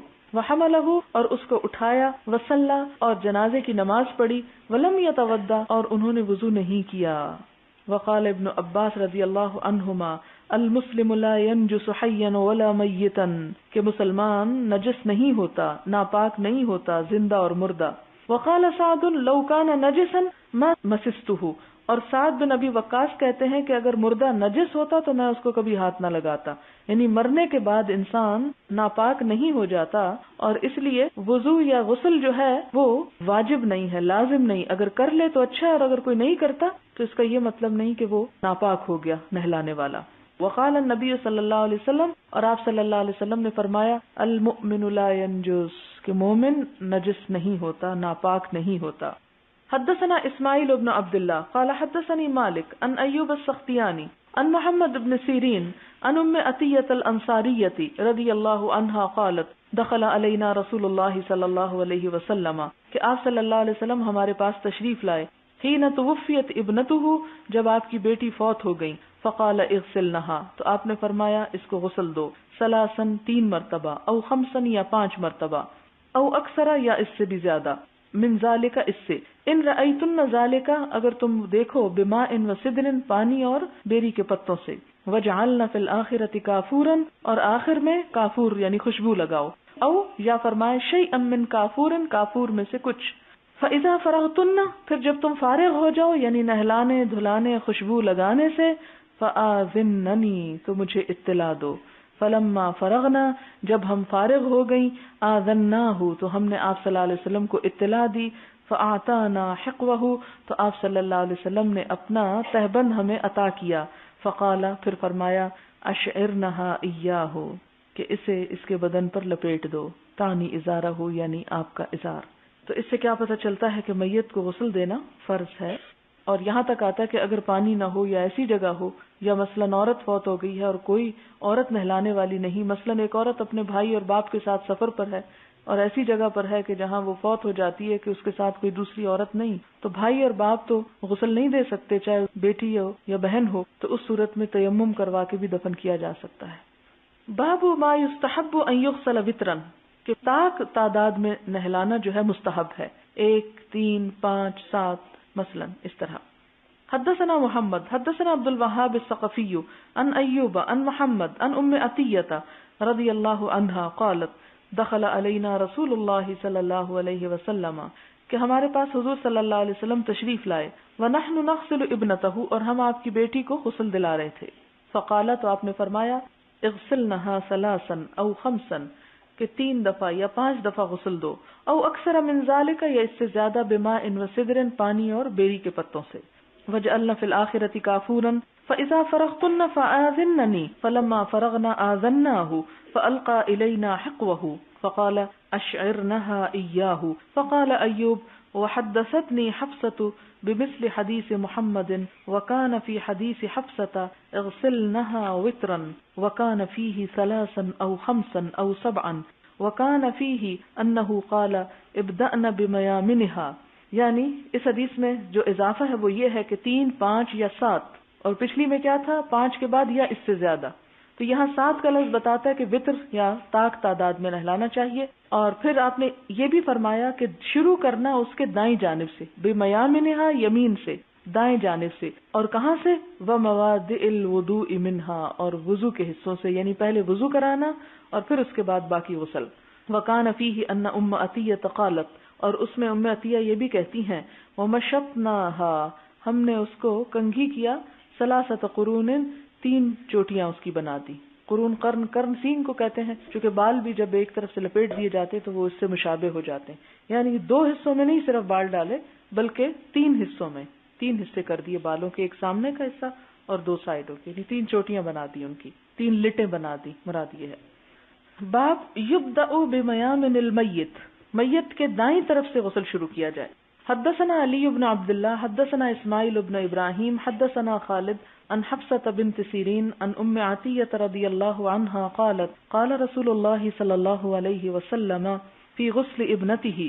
آپ صلی اللہ علیہ وسلم نے اپنی بیٹی کے غسل کے بارے میں فرمایا ابدأن بمیامنها ومواد الوضوء منها کہ دائیں جانب سے شروع کرو اور وضو کے حصوں سے۔ باب مواد الوضوء من المیت، میت کا غسل وضو کے مقاموں سے شروع کرنا۔ حدثنا یحیی بن موسی، حدثنا وقیع عن سفیان عن خالد الحذاء عن حفصة بنت سیرین ان ام عطیت رضی اللہ عنہا قالت، لما غسلنا ابنة النبی صلی اللہ علیہ وسلم، قال لنا، ونحن نغسلها، ابدأوا بمیامنها وموادع الوضوء. باب، هل تکفن المرأة فی ازار الرجل؟ کیا عورت کا کفن مرد کا ازار بند ہو سکتا ہے؟ یعنی جیسے آپ صلی اللہ علیہ وسلم نے اپنے تہون کو، اپنی بیٹی کے کفن کے لیے دیا تھا، تو اس سے کوئی حرج تو نہیں؟ یعنی مرد کا کپڑا عورت کے کفن میں استعمال ہو جائے؟ حدثنا عبد الرحمن ابن حماد اخبرنا ابن عون عن محمد عن ام عطية قالت، توفيت بنت النبي صلى الله عليه وسلم، فقال لنا اغسلنها ثلاثا او خمسا او اكثر من ذلك ان رأيتن فاذا فرغتن فآذنني فآذناه فنزع من حقه ازاره وقال اشعرنها اياه تو آپ صلی اللہ علیہ وسلم نے اپنا تیبند اتار کر دیا اور فرمایا، اس کے اندر اس کو لپیٹ دو۔ باب یج الکافور فی الاخیرتی کہ خوشبو آخری دفعہ میں لگائی جائے۔ کافور یعنی۔ حدثنا حامد بن عمر حدثنا حماد بن زید ان ایوب ان محمد ان ام عطیہ قالت توفیت احدى بنات النبي صلى الله عليه وسلم فخرج فقال اغسلنها ثلاثا وخمسا وأكثر من ذلك ان رايتن بماء وسدر وجعلنا في الآخرة كافورا أو شيئا من كافور فإذا فرغتن فآذنني قالت فلما فرغنا آذناه فألقى إلينا حقوه فقال أشعرنها إياه وأن أيوب أن حفصة أن أم أتية رضي الله عنها بنحوه وقالت إنه قال اغسلنها ثلاثا أو خمسا أو سبعا أو أكثر من ذلك إن رأيتن. قالت حفصة قالت أم عتية وجعلنا رأسها ثلاثة قرون. باب نقد شعر المرأة. وقال ابن سيرين لا بأس أن ينقض شعر المرأة. یعنی میت اگر عورت ہے تو غسل کے وقت اس کے بال کھول دینا۔ یعنی چٹیا اگر پہلے سے کی ہوئی ہے تو نہلاتے وقت بال کھول کے غسل دینا چاہیے۔ اور ابن سیرین بھی کہتے ہیں کہ عورت کے بال کھولنا برا نہیں۔ حدثنا احمد قال حدثنا عبد الله بن وهب اخبرنا ابن جريج قال ايوب وسمعت حفصه بنت سيرين قالت حدثنا ام عطيه رضي الله عنها انهن جعلنا راس بنت رسول الله صلى الله عليه وسلم ثلاثه قرون. نقزنه کہ تین چوٹیاں تھیں ان کو کھولا، ثم غسلنه، ثم جعلنه ثلاثه قرون کہ انہوں نے بالوں کو کھولا اور دھویا اور پھر تین لٹیں ہی بنا دی باب ان کئی فل اشعار المیت میت پہ کپڑا کیسے لپیٹنا چاہیے؟ وقال الحسن، حسن کہتے ہیں الخرقۃ الخامسۃ یشد بهل فخذین والورکین تحت الدرع۔ میت پہ کس طرح کپڑا لپیٹا جائے؟ اور امام حسن بصری کہتے ہیں کہ عورت کے لیے ایک پانچواں کپڑا چاہیے جس سے قمیص کے نیچے رانے اور سرین باندھے جائیں یعنی بٹکس کی طرف اشارہ ہے۔ اسی سے نماز میں وہ جو تورک آتا ہے نا، انسان اپنے پشت پہ جب بیٹھتا ہے تو اس کو بیٹھنا تورک کہتے ہیں، جس میں ایک پاؤں پنڈلی کے اس طرف سے نکال لیا جاتا ہے اور ایک کھڑا کیا جاتا ہے۔ یہ تورک ہوتا ہے۔ تو رانے اور سرین جو ہے ان کو بھی لپیٹ دیا جائے۔ امام حسن بصری کا یہ مذہب ہے کہ عورت کو پانچ کپڑوں میں کفن دیا جائے۔ لیکن یہ ہے کہ اگر پانچ نہ ہو تو کیا کیا جائے؟ تین بھی کافی ہے تین نہ ہو ایک بھی کافی ہے۔ یعنی اگر لوگوں کے پاس بہت کپڑا نہیں ہے تو اس صورت میں ایک کپڑا بھی کافی یہ کہاں سے پتا چلتا ہے؟ یہ کیوں کہا جاتا ہے؟ اس کی وجہ یہ کہ اگر نماز ایک کپڑے میں عورت کی ہو سکتی ہے، تو اسی طرح اس کو کفنایا بھی ایک میں جا سکتا ہے۔ لیکن افضل کیا ہے کہ پانچ ہوں؟ کس طرح تیبند کرتا اوڑنی سربند چادر اور لفافہ، یہ پانچ ہے یعنی تیبند جس سے نیچے کا حصہ پہلے لپیٹا جائے، الگ، کرتا، جو اوپر سے پہنایا جائے اوڑنی سر جس سے باندھا جائے، اور پھر اوپر کی چادر، اور وہ پھر جس کے اندر وہ لپیٹا جاتا ہے۔ لیکن یہ ہے کہ اتنا نہ بھی ہو تو اس سے کم میں بھی ہو سکتا ہے۔ حدثنا احمد، حدثنا عبد الله بن وهب اخبرنا ابن جريج ان ايوب اخبره قال سمعت ابن سيرين يقول جاءت ام عطيه رضي الله عنها امراه من الانصار من اللاتي بايعنا. ام عطيه انصار کی عورتوں میں سے ایک عورت جنہوں نے بیعت کی، قدمت البصرۃ بصرہ آئیں۔ یعنی ام عطیہ بصرہ میں آئیں۔ تو بہادر ابن اللہ جلدی آئی اپنے بیٹے کو دیکھنے کے لیے۔ فلم تدرک خود ان کو نہ پا سکی یہ بیٹا آنے سے پہلے ہی فوت ہو گیا۔ فحد دست نہ تو انہوں نے ہمیں ایک حدیث بیان کی۔ کس نے؟ ام عطیہ نے۔ قالت کہنے لگی، دخل علینا النبی صلی اللہ علیہ وسلم ونحن نغسل ابنته فقال اغسلنها ثلاثا او خمسا او اكثر من ذلك ان رايتن ذلك بماء وسدر وجعلنا في الاخره كافورا فاذا فرغتن فاذنني قالت، فلما فرغنا القى الينا حقوه فقال اشعر نہا فلم یزد علی ذالک ولا ادری ای بناتی ہی کہتے ہیں کہ اس پر زیادہ نہیں کچھ ڈالا گیا۔ یعنی صرف ایک کپڑے میں ان کو لپیٹ دیا گیا۔ اور میں نہیں جانتا کہ وہ کون سی بیٹی تھی وزام ان الاشعار الففنها نہ اور ان کا خیال یہ تھا کہ اشار کا مطلب ہے کہ لپیٹ دیا جائے۔ وكذلك كان ابن سیرین یامر بالمرأة ان تشعر ولا تؤذر۔ اور ابن سیرین کا بھی طریقہ کیا تھا؟ وہ کہتے تھے کہ عورت کے بدن پہ کپڑا لپیٹ دیا جائے، الگ سے تہبند پہنانے کی ضرورت نہیں۔ یعنی ایک اسکارف اور ایک اوپر کی چادر اور ایک نیچے کی چادر اور ایک پھر چادر اور پھر لفافہ، تو یہ اتنے تکلف کی ضرورت نہیں ہے، اتنا بھی کافی ہے کہ عورت کو کم سے کم ایک کپڑے میں یا اس سے زیادہ، پھر اتنا ہے کہ اگر ایسا کیا ہی جائے تو نیچے ایک لپیٹ دیا جائے، ایک اوپر اور اس کے بعد پھر اوپر سے۔ لفافہ پہنا دیا جائے۔ لفافے سے مرادی کہ وہ آخری جس کے وہ آگے سے وہ چھٹا ہوا ہوتا ہے نا جس سے سر دکھا کے مردے کا آخری دفعہ جب پھر باندھ دیتے ہیں تو اوپر سے بھی کپڑا جا رہا ہوتا ہے۔ تو اصل چیز ہے ڈھانپنا۔ اور اگر کسی بھی طریقے سے ڈھانپا جائے تو ڈھانپنا کافی ہے۔ اور اس میں کم سے کم ہمیں دیکھتے ہیں کہ ایک ہی کپڑا تھا ان کے پاس جس میں ان کو لپیٹا گیا۔ باب يجعل شعر المرأة ثلاثة قرون۔ حدثنا قبيس حدثنا سفيان عن هشام عن ام الهذيل عن ام عطية رضي الله عنها قالت ضفرنا یہاں پر نیا لفظ ہے، چٹیا بنائی۔ دفرا کا مانا ہوتا ہے بال گوندنا شاہرہ بنت نبی صلی اللہ علیہ وسلم تانی سلاست قرون یعنی تین چوٹیاں بنائی وقال وکی کالا سفیان ناسیتہا وقرنیہا۔ یعنی ایک سامنے کی طرف سے یعنی جس طرح عام طور پہ پونی ٹیل یہاں سے پکڑ کے کرتے ہیں یعنی ایک آگے کی طرف سے بال لے کے اور دو سائڈ سے۔ یہ ہمارے ہاں جو ایک کہا جاتا ہے جی، جو دو چٹیا پتنی گناہ ہے یہ کیا، بچپن میں ہم سنتے جب تو خیر چٹیا کا تکلف ہی کوئی نہیں کرتا۔ لیکن جب بال لمبے رکھنے کا رواج تھا تو لوگ عموماً بچوں کی دو چٹیاں بنا دیتے تھے۔ تو عموماً لوگ اس پہ بڑا اعتراض کرتے ہیں۔ تو آپ دیکھیں کہ یہاں تو تین کی بات مل رہی ہے۔ دو تو چھوڑیں آپ۔ اصل میں جب ہم اپنا دین لوگوں کی کہے سنے پہ بناتے ہیں تو وہ دین مشکل ہوتا ہے۔ حالانکہ اگر سوچا جائے تو کس لیے اس سے روکا جائے؟ کیوں روکا جائے؟ یعنی عورت کے بال ہیں، ان کو کسی بھی طرح وہ سمیٹ سکتی ہے۔ اگر کسی کے بہت زیادہ ہیں کہ ایک میں آتے ہی نہیں، ایک چٹیا بنانا مشکل ہے تو دو میں بنا لے۔ اور اگر اور بھی زیادہ ہے تو ایون تین بنا لے۔ اور اگر اور فیشن کرنا چاہتی ہے تو اور زیادہ بنا لے۔ باب یلقا شعر المرأة خلفها ثلاثه قرون۔ حدثنا مسدد، حدثنا يحيى بن سعيد عن هشام بن حسان قال حدثتنا حفصة عن ام عطية رضي الله عنها قالت توفيت احدى بنات النبي صلى الله عليه وسلم فاتانا النبي صلى الله عليه وسلم فقال اغسلنها بالصدر وترا ثلاثا وخمسا واكثر من ذلك، ان رايتن ذلك۔ يعني اگر مناسب سمجھو۔ وجعلنا في الآخرة كافورا أو شيئا من كافور، فإذا فرغتن فآذنني، فلما فرغنا آذناه، فألقى إلينا حقوه، فدفرنا شعرها ثلاثة قرون وألقيناها خلفها۔ تین چوٹیاں بنا کے ہم نے ان کو پیچھے ہی ڈال دیا۔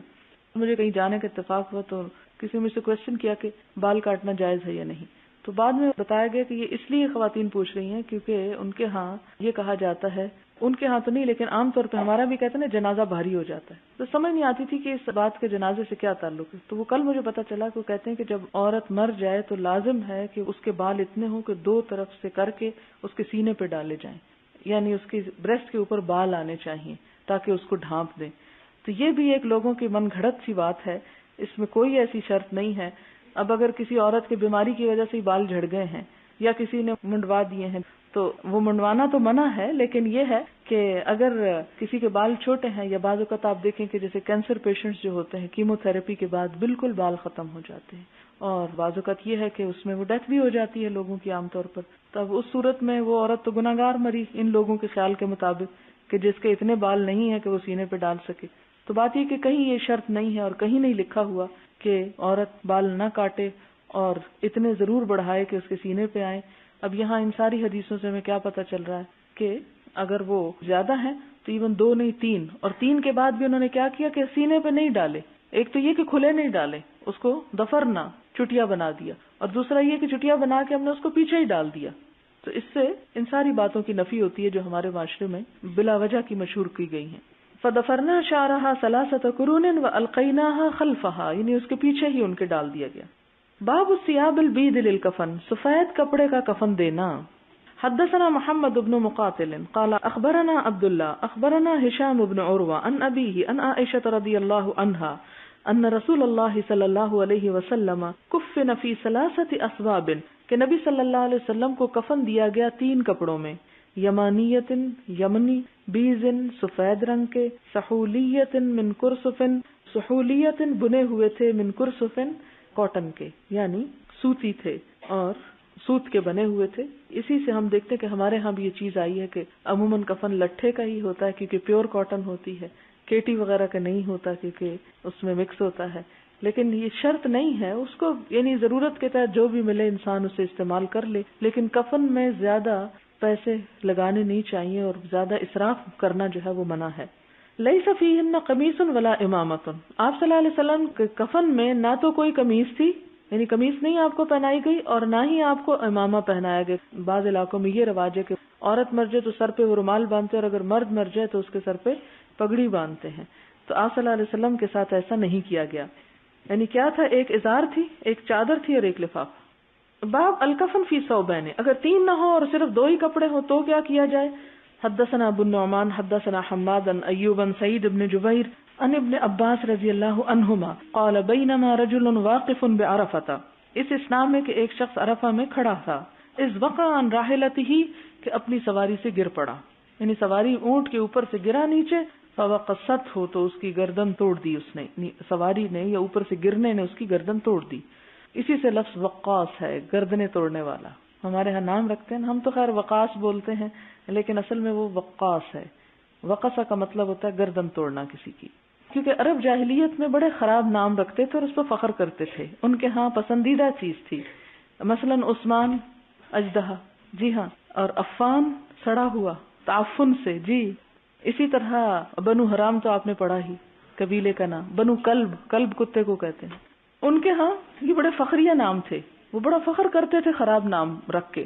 یعنی ایک سے ایک برا نام رکھتا، لیکن اسلام نے آ کے جاہلیت کی اس رسم کو بدلا اور اچھے نام رکھنے کی تلقین کی گئی کہ نام کا بھی انسان کے اوپر اثر ہوتا ہے۔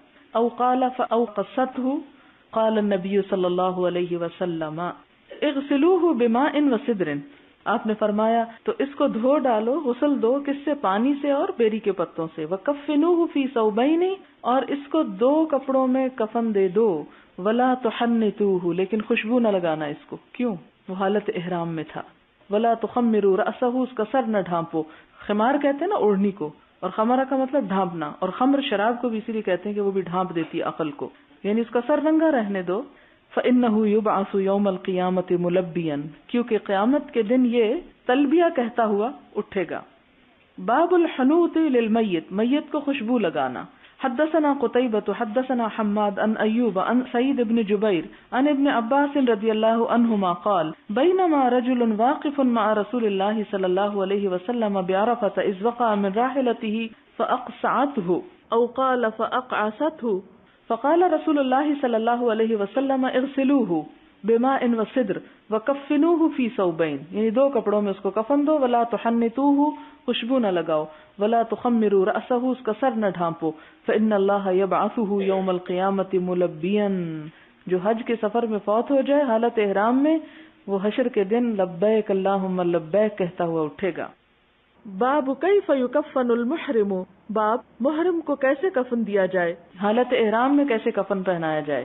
وہی حدیث ہے، حدثنا ابو النعمان، اخبرنا ابو اوانا ان ابی بشیر ان سعید ابن جبیر ان ابن عباس، رضی اللہ عنہما، ان رجلا وقصه بعيره ونحن مع النبي صلى الله عليه وسلم، وهو محرم، فقال النبي صلى الله عليه وسلم، اغسلوه بماء وصدر.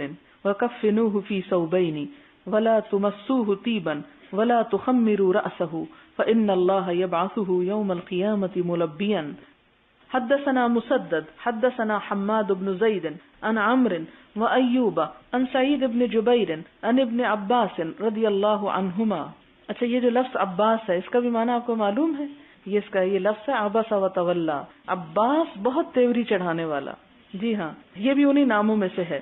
قال كان رجل واقفا مع النبي صلى الله عليه وسلم بعرفة فوقع عن راحلته. قال أيوب فوقصته. وقال عمرو فأقصعته. فمات فقال اغسلوه بماء وسدر وكفنوه في ثوبين ولا تحنثوه ولا تخمروا رأسه فإنه يبعث يوم القيامة ملبيا. قال أيوب يلبي. وقال أمر ملبيا. یعنی ایوب کی روایت میں یلبی کا لفظ أمر کی ملبی. باب الکفن فی القمیسی الذي يكف او لا کفن دیا جائے کسی ایسی قمیص میں کہ یوکف یعنی اس کا حاشیہ سلا ہوا ہو اور لا یوکف یا نہ سلا ہو. یعنی سلے یا انسلے کپڑے دونوں میں کفن دیا جا سکتا ہے. کف کا مطلب ایسا تھا نا روکنا. یعنی روکا ہوا نہیں مراد سلا ہوا ہے. حدثنا مسدد قال حدثنا يحيى بن سعيد عن عبيد الله قال حدثني نافع عن ابن عمر رضي الله عنهما ان عبد الله بن ابي لما توفي جاء ابنه الى النبي صلى الله عليه وسلم فقال، یا رسول اللہ اعتنی قمیصک اکفنہ فیہ، وصلی علیہ، واستغفر لہو یہ حدیث ذرا نئی ہے، ترجمہ کرتے ہیں کہ عبداللہ بن ابئی جب فوت ہو گیا، کون تھا عبداللہ بن ابئی سب جانتے منافقین کا سردار تھا۔ تو ان کا بیٹا، جس کا نام عبداللہ ہی تھا، بہت سچا مسلمان تھا۔ وہ آئے آپ صلی اللہ علیہ وسلم کے پاس کہا، یا رسول اللہ آتنی قمیصک. اے اللہ کے رسول صلی اللہ علیہ وسلم، مجھے اپنی قمیص عطا کیجیے۔ اکفن فی ہی میں اپنے باپ کو اس میں کفن دوں۔ وسل علیہ، اور آپ اس کا جنازہ پڑھیے۔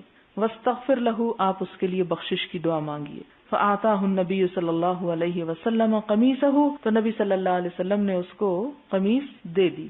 فقال آزنی اسلی علیہ فآزنہ تو آپ نے اس کے بیٹے کو کہا کہ مجھے اطلاع کرنا یعنی اس کے جنازے کی تیاری کی تو میں اس کے لیے جنازہ پڑھوں گا۔ فآزنہ تو بیٹے نے اطلاع دی آپ کو۔ فلما اراد ان يصلي عليه جذبه عمر رضی اللہ عنہ۔ جب حضور صلی اللہ علیہ وسلم جنازہ پڑھانے کے لیے جانے لگے، ارادہ کیا، حضرت عمر نے پکڑ لیا۔ فقالا کہنے لگے علیہ اللہ قد نہا کا ان تسلی المنافقین؟ یا رسول اللہ، کیا اللہ تعالیٰ نے آپ کو منع نہیں کیا کہ آپ منافقوں کا جنازہ نہ پڑھیں؟ فقالا انا بئی نخیرتعینی آپ نے فرمایا مجھے اختیار دیا گیا ہے۔ قال اللہ تعالی، استغفر لهم او لا تستغفر لهم یہ ہے اختیار۔ تم چاہو تو ان کے لیے بخشش کی دعا کرو یا نہ بخشش مانگو۔ ان تستغفر لهم سبعین مرتن، اگر تم ستر مرتبہ بھی بخشش مانگو گے، فلن یغفر اللہ لهم تو اللہ ان کو نہیں بخشے گا۔ فصلى علیہ، تو آپ نے جنازہ پڑھ دیا۔ فنزلت، تو آیت اتری۔ ولا تصلی علی احد منهم مات ابدا۔ کہ اس کے بعد آپ ان میں سے کسی کا جنازہ مت پڑھیں۔ اور ان میں سے کسی کی قبر پر مت کھڑے ہوں۔ یہاں سے کیا پتہ چلتا ہے؟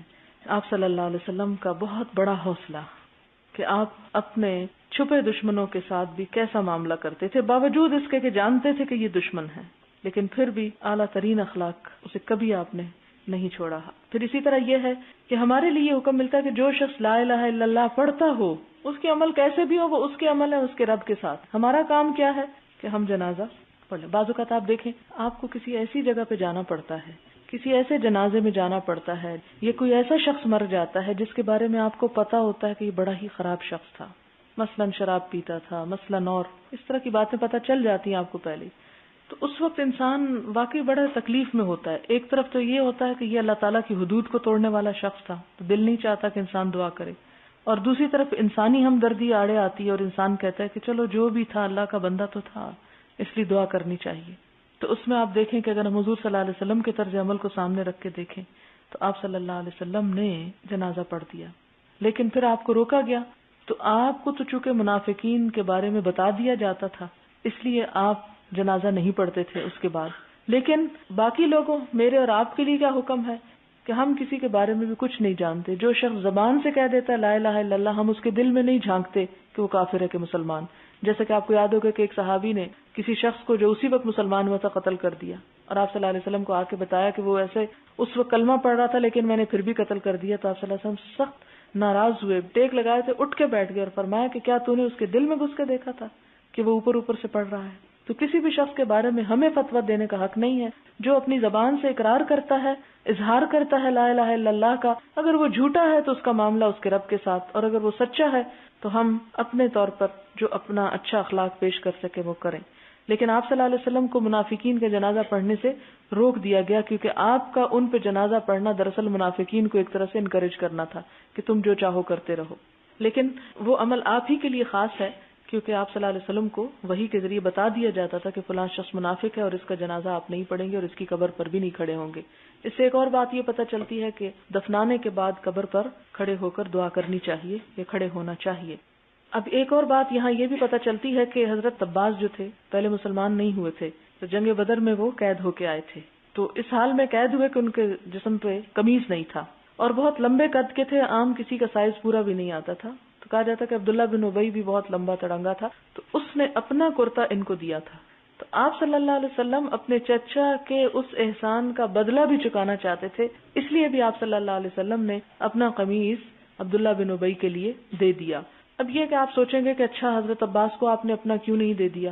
تو ہو سکتا ہے کہ مردہ کے لیے تو اگر سائز چھوٹا بھی ہے تو کوئی بات نہیں، لیکن ایک زندہ انسان کے لیے شاید وہ اس وقت پورا نہ آ سکتا ہو ان کو، یا ہو سکتا ہے اس وقت حضرت عباس جو ہو وہ یعنی ان کا جسم بھاری ہو۔ بہرحال، یہاں امام بخاری یہ بات اس لیے لائے ہیں کہ اگر کسی شخص کو سلے ہوئے کپڑے میں بھی کفن دے دیا جائے تو اس سے گناہ نہیں ہوتا۔ حدثنا مالک ابن اسماعیل، حدثنا ابن اوینا ان امر سمع جابرا رضی اللہ عنہ قال اتن نبی صلی اللہ علیہ وسلم عبداللہ ابن ابی بعد ما دفن فاخرجه فنفس فيه من ریقه کہ ایک اور روایت سے ہمیں کیا پتہ چلتا ہے کہ حضور صلی اللہ علیہ وسلم عبداللہ بن ابئی کی قبر پر آئے جب وہ دفن ہو چکا تھا۔ آپ نے اس کی لاش نکلوائی اور نفسا ڈالا فی ہی من ری کی ہی اس کے منہ میں اپنا لعاب دہن۔ وہ البس قمیص ہو اور اس کو اپنا کرتا پہنایا۔ باب الکفن بغیر قمیص بغیر قمیص کے کفن دے دینا۔ حدثنا ابو نعیم، حدثنا سفیان ان ہشام ان عروہ ان عائشہ رضی اللہ عنہا قالت، کفن النبی صلی اللہ علیہ وسلم فی ثلاثت اسواب آپ صلی اللہ علیہ وسلم تین کپڑوں میں کفن دیے گئے۔ سہول کرسفن، سوتی جو بنا ہوا تھا۔ لئی سفیہ کمیس ولا امامہ، جس میں کمیس اور امامہ نہ تھا۔ یعنی چوتھا کپڑا نہیں تھا، مراد یہ ہے۔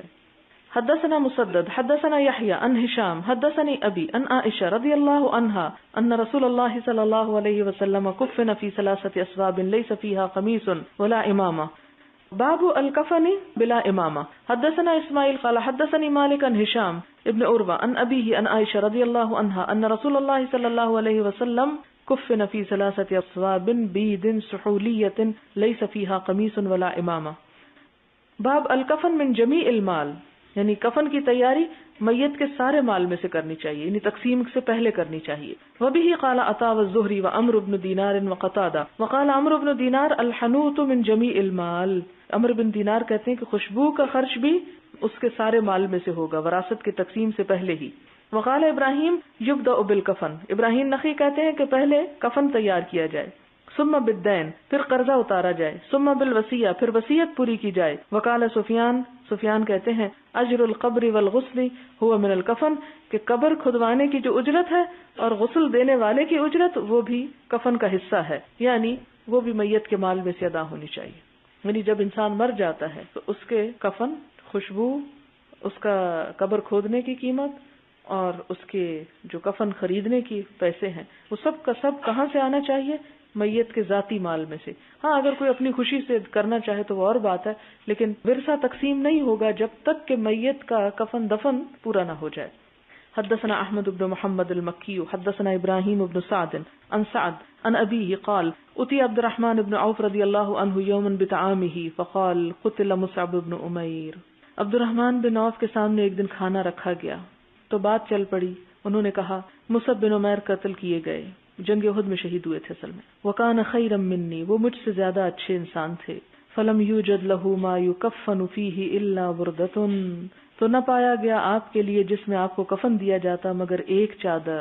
وقت الحمزۃ او رجل آخر خیر منی۔ اور قتل کیے گئے یا شہید ہو گئے حضرت حمزہ یعنی جنگ عہد میں ہی۔ او رجل آخر یا ایک اور انسان خیر منی جو مجھ سے اچھے تھے۔ فلم یوجد لہو ما کفن فی ہی اللہ بردا تو ان کو بھی ایک چادر کے سوا کفن دینے کے لیے کچھ نہ ملا۔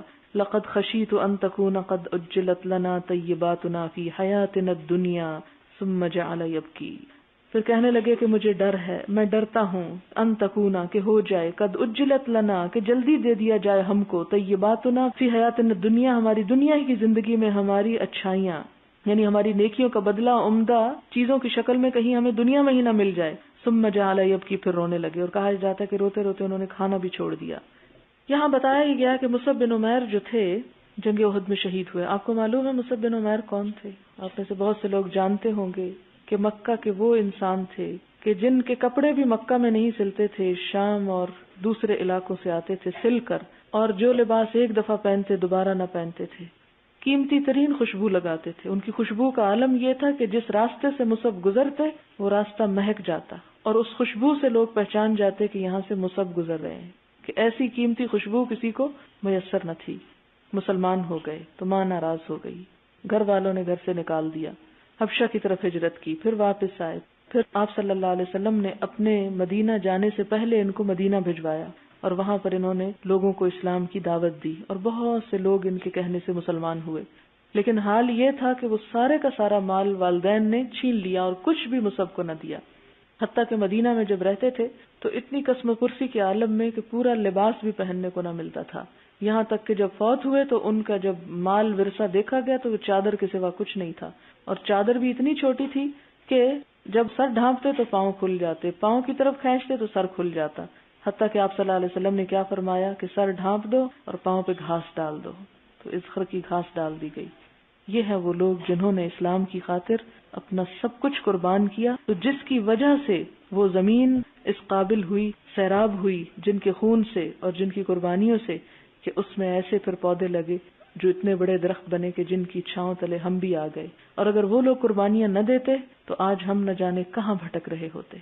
اور آج ہم قربانیاں نہیں دے رہے، تو بہت سی دنیا اندھیروں میں بھٹک رہی ہے۔ آج بھی روشنی اسی وقت پھیل سکتی ہے جب میں اور آپ اپنے دنیا کی روٹین اور آرام اور سکون اور بہت سی خواہشات کو قربان کر کے آگے بڑھیں اور دنیا تک اس پیغام کو پہنچائیں۔ اگر ہمیں حصہ ملا ہے تو ہمیں آگے پہنچانا چاہیے۔ باب ازالم یوجد اللہ صوبن واحد، جب کسی کو صرف ایک ہی کپڑا ملے۔ حدثنا محمد ابن مقاتل، اخبرنا عبداللہ، اخبرنا شعبہ ان سعد ابن ابراہیم ان ابی ابراہیم ان عبد الرحمن ابن عوف رضی اللہ عنہ اتی بطعام وکان سائما کہ عبد الرحمن بن عوف کے پاس کھانا لایا گیا، حالانکہ وہ روزے سے تھے یعنی روزہ افطار کر رہے تھے۔ فقالا، تو یاد آ گیا، ان کو کہنے لگے، قتل مصعب ابن عمیر وهو خیر منی، کفن فی برده، ان غطی رأسه بدت رجلاه۔ مصعب بن عمیر جو مجھ سے بہترین انسان تھے، زیادہ اچھے انسان تھے، ان کو ایک چادر میں کفن دیا گیا۔ جب ان کا سر ڈھانپا جاتا، بدت رجلاہ تو ان کے پاؤں کھل جاتے۔ وہ ان غتی رجلاہ بدا اور پاؤں ڈھانکتے تو سر کھل جاتا۔ وأراه قال، وقتل حمزة وهو خير مني، ثم بسط لنا من الدنيا۔ پھر دنیا ہمارے لیے کھول دی گئی۔ ما بسطا جتنی بھی کھولی گئی۔ یعنی ہم بہت دنیا کا مال آ گیا ہمارے پاس۔ او قال اوتینا من الدنیا ما اوتینا دے دیا گیا ہمیں دنیا میں سے جو بھی ہمیں دیا گیا۔ وقد خشینا اور ہم ڈرتے ہیں ان تکون حسناتنا اجلت لنا، کہ ہماری نیکیاں ہمیں دنیا میں ہی جلدی دے دی جائیں۔ یعنی اس کا صلہ مل گیا دنیا میں۔ ثم جعل يبكي حتى ترك الطعام، پھر وہ روتے رہے یہاں تک کہ کھانا بھی چھوڑ دیا۔ باب، اذا لم يجد کفنا، جب کفن نہ پائے، الا ما يواري راسه وقدميه مگر اتنا کہ سر ڈھانکا جائے یا پاؤں، تو غطا راسه ایسی صورت میں سر ڈھانک دیا جائے۔ حدثنا عمر بن حفص، حدثنا ابي حدثنا الاعمش، حدثنا شقيق حدثنا خباب رضي الله عنه قال، هاجرنا مع النبي صلى الله عليه وسلم۔ ہم نے حضور صلی اللہ علیہ وسلم کے ساتھ ہجرت کی۔ نلتمس وجه اللہ، ہم صرف اللہ کی رضا چاہتے تھے۔ فوقع اجرنا اللہ، تو ثابت ہو گیا ہمارا اجر اللہ کے ذمہ۔ فمنا من مات لم يأكل من اجره شيئا تو ہم میں سے بعض تو اس حال میں مرے کہ اپنے اجر میں سے کچھ بھی نہ کھایا۔ یعنی دنیا میں اس کا کوئی بھی صلہ نہ پایا، صرف قربانیاں دے کے چلے گئے۔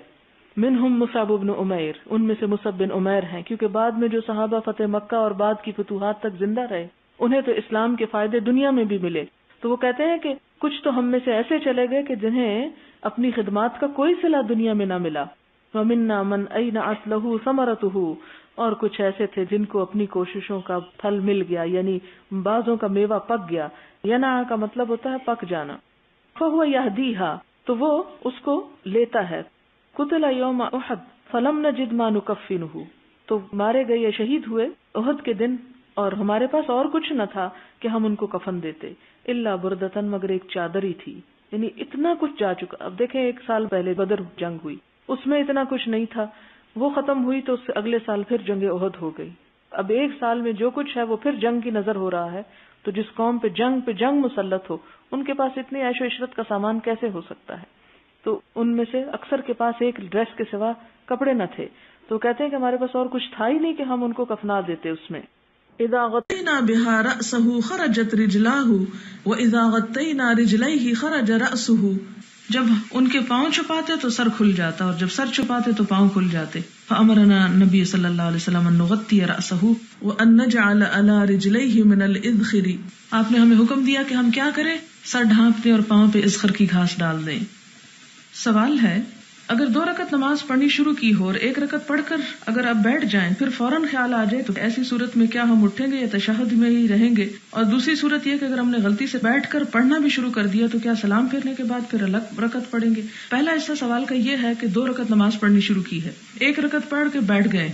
اب بیٹھ کے کیا کیا؟ کہ ابھی بیٹھے ہیں کہ یاد ہے ایک ہے ابھی تو، پھر کھڑے ہو جائیں۔ لیکن اگر اتحیات شروع کر دیا تو اس کو تحیات تک پڑھ لیں اور پھر آپ کھڑے ہو جائیں۔ اور اس کے بعد یہ ہے کہ اپنی بعد میں دوبارہ تحیات پڑھ کے اس کو مکمل کر لیں۔ اگر جہری نماز میں امام کے رات کرنا بھول جائے اور مقتدی انتظار میں ہے کہ امام فاتح پڑے گا اور پیچھے دل میں دہرائیں گے، یہاں تک امام رکو میں چلا گیا۔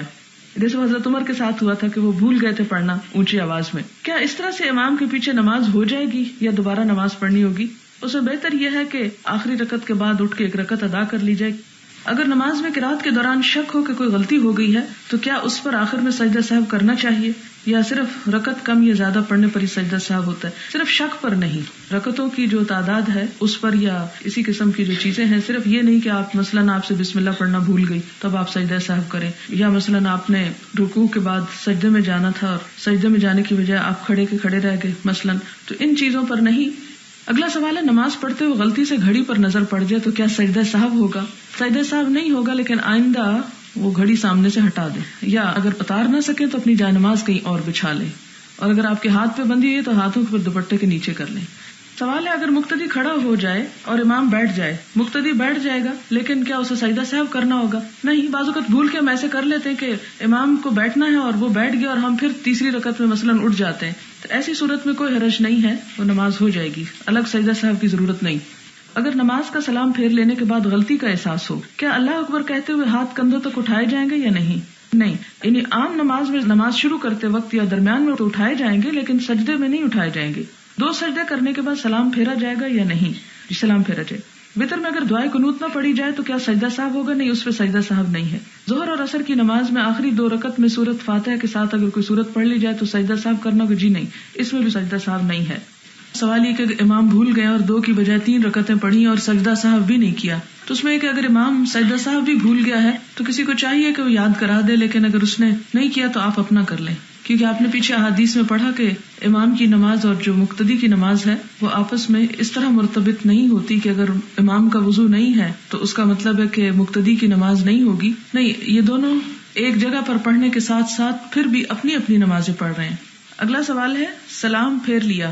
سجدہ صحب کرنا بھول گئے۔ آپ کس طرح سجدہ صاحب کریں گے؟ جس وقت یاد آ جائے اسی وقت کر لیں۔ یعنی آپ مثال کے طور پہ اٹھ کے کچن میں چلی گئی آپ کو یاد آ گیا، واپس آئیں۔ اگر آپ کا وضو ہے باقی، تو آپ اس کو ادا کر لیں۔ کیا اللہ اکبر کہہ کر دو سجدے کر کے دونوں طرف سلام پھیریں گے؟ جی ہاں ایسے ہی کریں گے۔ سجدہ صاحب کا طریقہ یہ ہے، دو سجدے اور پھر دونوں طرف سلام۔ سوال ہے کہ آپ یہ واضح کر دیں کہ تدفین سے پہلے مردے کا چہرہ دیکھنا کیوں ضروری ہے؟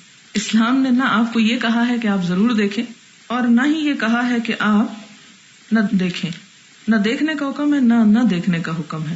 یہ تو ایک سمجھنے کی بات ہے کہ انسان کیوں دیکھتا ہے کسی مردے کا چہرہ۔ یہ سوچتے ہوئے کہ بس یہ ایک الوداعی ملاقات ہے اور ایک سین اپنے نظروں میں جذب کر لیتا ہے۔ تو اس لیے اس میں اسلام نے وسط رکھی ہے۔ ایک اصول ہمیشہ یاد رکھیں کہ الاسل فی الامور الباحا کہ تمام معاملات میں جو اصل ہے، اصل روح، وہ یہ ہے کہ ان کی اجازت ہے۔ یعنی تمام چیزیں جائز ہیں۔ اللہ یہ کہ کسی نس نس سے مراد قرآن پاک کی آیت یا سنت رسول صلی اللہ علیہ وسلم سے اس چیز کو حرام قرار دے دیا جائے۔ یا اس چیز کا اجر اور ثواب واضح کیا جائے کہ یہ کرنا زیادہ بہتر ہے بہ نسبت اس کے کہ دوسری چیز کوئی اور کی جائے۔ اس لیے کیا بات ہمیں پتہ چلتی ہے کہ ہر کام جو ہم کرتے ہیں عام طور پر اس میں ہمیں ایک وسیع میدان ملا ہے، آزادی دی گئی ہے، اجازت دی گئی ہے، لیکن کچھ چیزیں ایسی ہیں کہ مثال کے طور پر کھانا۔ تو کھانے کے معاملے میں اسلام نے کھٹا، میٹھا، کڑوا، نمکین، ٹھنڈا، گرم، اس کی کوئی قید نہیں رکھی۔ ہر شخص اپنے ٹیسٹ اور اپنے ذوق اور اپنے ماحول اور اپنے کلچر کے حساب سے جو بھی کھانا چاہتا ہے وہ کھائے۔ صرف چند چیزیں ایسی ہیں کہ جن کے کھانے کو منع کر دیا گیا۔ اور ان کا ذکر قرآن پاک اور سنت رسول صلی اللہ علیہ وسلم میں ہمیں ملتا ہے۔ اسی طرح یہ ہے کہ پہننے کے معاملے میں ہمیں کاٹن سنتھیٹک ریشم کوئی قید نہیں رکھی گئی کہ یہ نہیں پہننا۔ ہاں مردوں کے لیے صرف ریشم منع کر دیا گیا۔ اسی طرح کلرز میں کچھ فرق رکھا گیا کہ مرد عورتوں سے مشابہ نظر نہ آئے۔ یا عورتیں جو ہے وہ مرد نظر نہ آئے۔ یہ ایک اصول طے کر دیا گیا۔ باقی کیا پہنے؟ کوئی یہ قید نہیں رکھی گئی کہ کمیز جو ہے وہ ٹخنوں تک ہونی چاہیے یا گٹنوں تک ہونی چاہیے۔ ہاں ساتر لباس ہونا چاہیے۔ خواہ وہ آپ کسی بھی رنگ، کسی بھی ڈیزائن اور کسی بھی ٹیکسچر کا پہن رہے ہوں۔ یعنی دین کی روح کیا ہے کہ آپ سب کچھ کر سکتے ہیں۔ سوائے اس کے کہ جس کے بارے میں کہہ دیجیے کہ یہ نہ کرو یا ایسا ضرور کرو۔ تو وہ چند چیزیں ہیں جو ہمیں دین سے معلوم کرنی ہے باقی مجال واسع ہے۔ یہ سوال ہے، جب کوئی حالت نظر میں ہمارے سامنے ہو تو ہمیں کیا کرنا چاہیے؟ یہ بہت ضروری ہے اور سب کو معلوم ہونا چاہیے۔ اس لیے کہ سب پر یہ وقت آنا ہے۔ اور سب کے سامنے ابھی ہو سکتا ہے کہ آئے۔ ایسی صورت میں نمبر ایک تو یہ کہ سورت یاسین پڑھنا شروع کر دینا چاہیے اس کے سامنے۔ سنت سے ثابت ہے یہ بات۔ نہ تو بہت لاؤڈلی چیخ چیخ کر اور نہ ہی دل میں۔ بہت نرمی کے ساتھ آہستہ آہستہ کہ وہ سہولت سے سن بھی لے۔ دوسری بات یہ کہ لا الہ الا اللہ پڑھنا چاہیے۔ یعنی اس کے اوپر جو موت کی تلخی اور سختی ہو تو یہ مت کہیں کہ پڑھو لا الہ الا اللہ۔ اور وہ کہ نہیں پڑھتا تو کیونکہ آپ دیکھیں کہ بعض اوقات انسان جب بہت تنگی یا تکلیف میں ہوتا ہے تو دوسرا اسے کوئی بات کے تو ریٹیٹ ہوتا ہے اور اس کا وہ انکار کر دیتا ہے۔ تو یہ بات درست نہیں۔ تو آپ کو آہستہ آہستہ اس کے پاس لا الہ الا اللہ، محمد الرسول اللہ، اس کے کان کے پاس، اس کے آس پاس، تاکہ وہ اس کو اگر گھبراہٹ بھی ہو رہی ہے یا کوئی ایسی مشکل میں ہے تو ایک تو وہ ذکر اس کو سکون دے گا۔ اور دوسری بات یہ ہے کہ پھر چونکہ وہ بھی مسلمان ہے مرنے والا، تو اسے یہ پتا ہے کہ آخری کلمہ اگر لا الہ الا اللہ ہو تو بخش اسے ہوگی۔ لہٰذا وہ بھی کوشش کرے گا کہ وہ پڑھ سکے۔ دوسرا سوال ہے، ہمیں اس وقت کیا کرنا چاہیے جب ہمارے سامنے میت ہو؟ کیونکہ ہم یا تو رو رہے ہوتے ہیں یا رونے والوں کو دیکھ رہے ہوتے ہیں۔ اس میں یہ کہ اگر رونا آ رہا ہو تو رو لیجیے کیونکہ رونے سے منع نہیں کیا گیا۔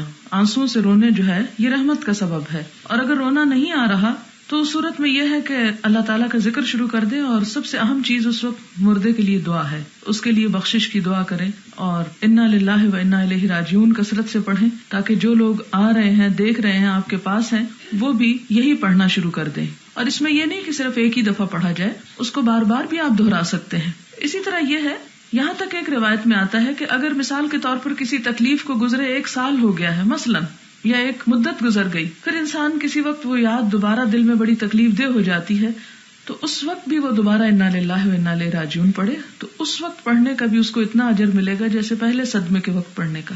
یعنی آپ نے قرآن میں پڑھا کہ الاائے کا علیہم سلاوات رب و رحما تو رحمت نوازشیں اللہ تعالیٰ کی طرف سے خاص فضل۔ اسی طرح یہ ہے کہ آپ صلی اللہ علیہ وسلم کا ارشاد ہے کہ مرنے والا قبر میں ڈوبنے والے فریادی کی طرح ہوتا ہے۔ جیسے کسی نہر یا کنویں میں کوئی ڈوب رہا ہو، تو وہ ایک طرح سے کیا کر رہا ہوتا ہے؟ فریاد کر رہا ہوتا ہے۔ اور دعا کا منتظر ہوتا ہے جو ماں باپ یا بہن بھائی یا دوستوں کی طرف سے اسے پہنچے۔ پھر جب وہ اسے ملتی ہے یعنی دعا اس کو پہنچتی ہے، تو وہ اسے دنیا اور جو کچھ اس میں ہے، سب سے بڑھ کر عزیز ہوتی ہے۔ یعنی وہ اپنے پیچھے جو کچھ چھوڑ کے جاتے ہیں مرنے والے، ان سب چیزوں میں سب سے زیادہ جو مردے کو جس چیز سے دلچسپی ہے، وہ دعا ہے۔ اور ہم بھی اس کے لیے جو کر سکتے ہیں صد کا خیرات، وہ تو جو بھی ہوتا ہے۔ لیکن سب سے اہم چیز جو کوئی بھی کسی کو دے سکتا ہے وہ دعا ہے۔ لیکن عموماً لوگ اس کا اہتمام نہیں کرتے اور ظاہری رسمیں اور مصنوعی افسوس نبھاتے رہتے ہیں۔ تو ہمیں عملی نمونہ ان چیزوں کا بننا چاہیے اور خلوص دل سے دعا کی جائے۔ پھر حدیث میں آتا ہے کہ بلا شبہ اللہ تعالیٰ زندہ لوگوں کی دعاؤں میں سے پہاڑ کی مانند قبر والوں پر داخل فرماتا ہے۔ بلا شبہ زندہ لوگوں کا تحفہ مردوں کے لیے استغفار ہے۔ یعنی کس چیز کی دعا کی جائے؟ استغفار کی۔ مشکات کی روایت تھی یہ۔ سن نبی داود کی روایت ہے کہ حضور صلی اللہ علیہ وسلم جب میت کے دفن سے فارغ ہوتے تو قبر پر ٹھہرتے، پھر کہتے اپنے بھائی کے لیے استغفار کرو۔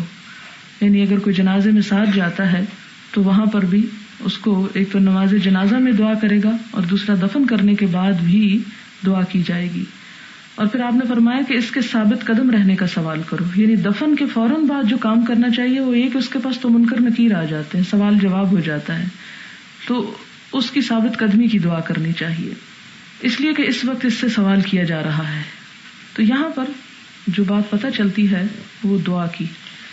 اور دعا میں جنازے کی دعا ہے اور ایک اور مصنون دعا، اس کا میں مطلب آپ کو بتا دیتی ہوں۔ کہ اللہ مغفر لہو، اے اللہ، اس کی بخشش فرما و رحم ہو اور اس پہ رحم فرما و آفی ہی اور اس کو آفیت دے۔ واف و ان ہو اور اس سے درگزر فرما۔ وہ اکرم نزول اور اس کی مہمانی سخاوت کے ساتھ کر۔ کرم کر اس کی مہمانی میں یعنی اب وہ تیرا مہمان ہے، تیرے پاس گیا ہے، کہ تو اپنا کرم فرما۔ وہ بس امدخل اور اس کے داخلے کی جگہ کو وسیع کر دے یعنی وسط عطا کر دے۔ یعنی قبر مراد ہے۔ وقصل ہو بلما اور اس کو دھو دے پانی سے وسل جی برف سے ول بردی اور اولے سے۔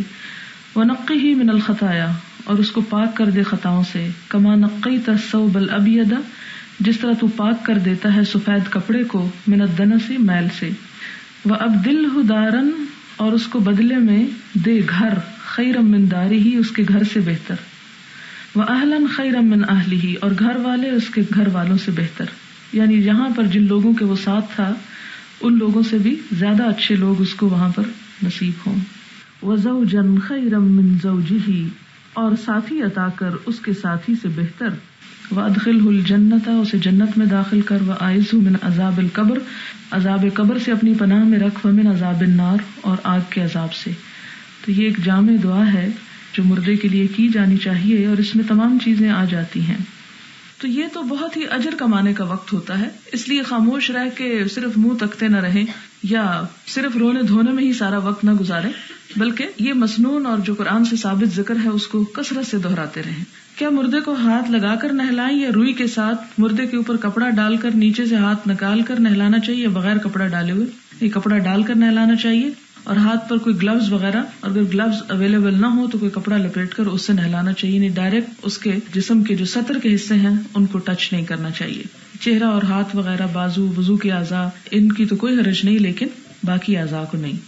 جب عورت مردہ کو غسل دے، تو کیا کنگی کر کے اس کی چٹیاں بنائیں گے یا بغیر کنگی کیے ہوئے؟ دونوں طرح بنا سکتے ہیں۔ اس میں بھی کوئی حرام حلال کی بات نہیں ہے۔ سوال ہے کہ عورت کی میت کو غسل دینے کے بعد اس کے بالوں میں کنگھی کی جائے گی؟ اگر بال لمبے ہوں تو اس کی چوٹیاں بھی بنائی جائے گی یا بالوں کو کھلا رہنا دیا جائے گا؟ یہ بھی دونوں کام آپ کر سکتے ہیں۔ بال کی چوٹی بھی بنا سکتے ہیں اور کھلا بھی چھوڑ سکتے ہیں۔ چھوٹے بالوں کی چوٹیاں کس طرح باندھی جائیں گی؟ چھوٹے بالوں کی چوٹیاں باندھی ہی نہیں جا سکتی۔ چوٹی باندھنا کوئی نہ فرض ہے، نہ سنت ہے، نہ نفل ہے۔ اگر کسی کے بال اتنے ہیں کہ وہ باندھ لے تو باندھ دے، اور اگر نہیں باندھ سکتی تو کھول دے۔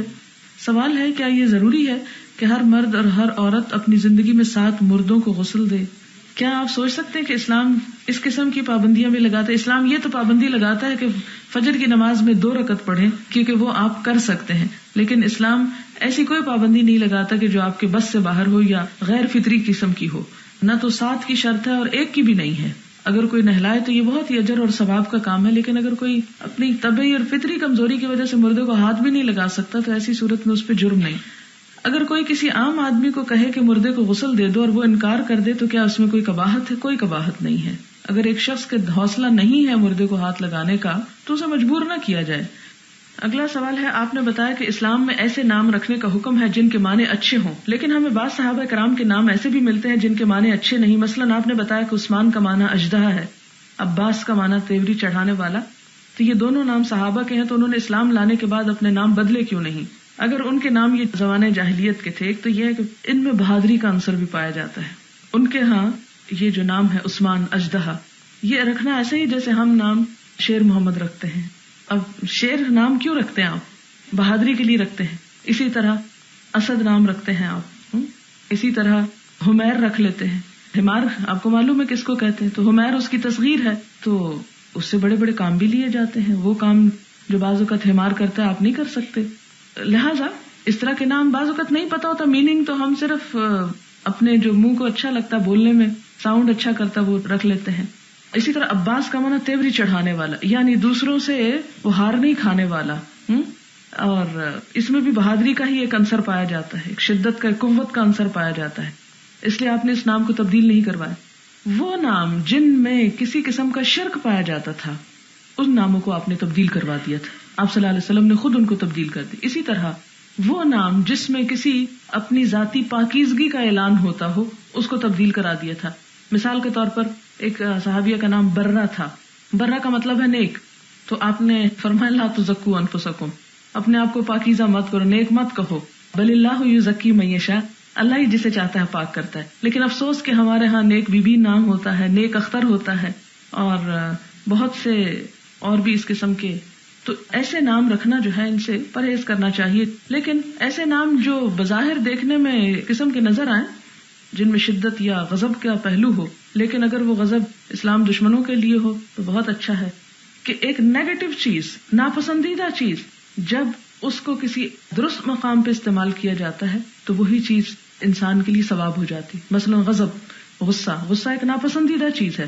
لیکن اگر اللہ تعالیٰ کی حرمتوں کو پامال ہوتے ہوئے دیکھ کر کوئی شخص غصہ کرتا ہے، تو وہ غصہ باعث ثواب ہے۔ اور اس وقت غصہ نہ کرنا یعنی جسے کہتے ہیں نا کہ جو برائی کو دیکھ کر بھی برا نہ سمجھے، تو اس کے دل میں رائی برابر بھی پھر ایمان نہیں۔ تو یہ مختلف کیفیات ہیں جن کے فرق کو سمجھنے کی ضرورت ہے۔ واخر داوانا الحمد للہ رب العالمین۔ سبحانك اللهم وبحمدك نشهد ان لا اله الا انت نستغفرك ونتوب اليك والسلام علیکم و رحمۃ اللہ۔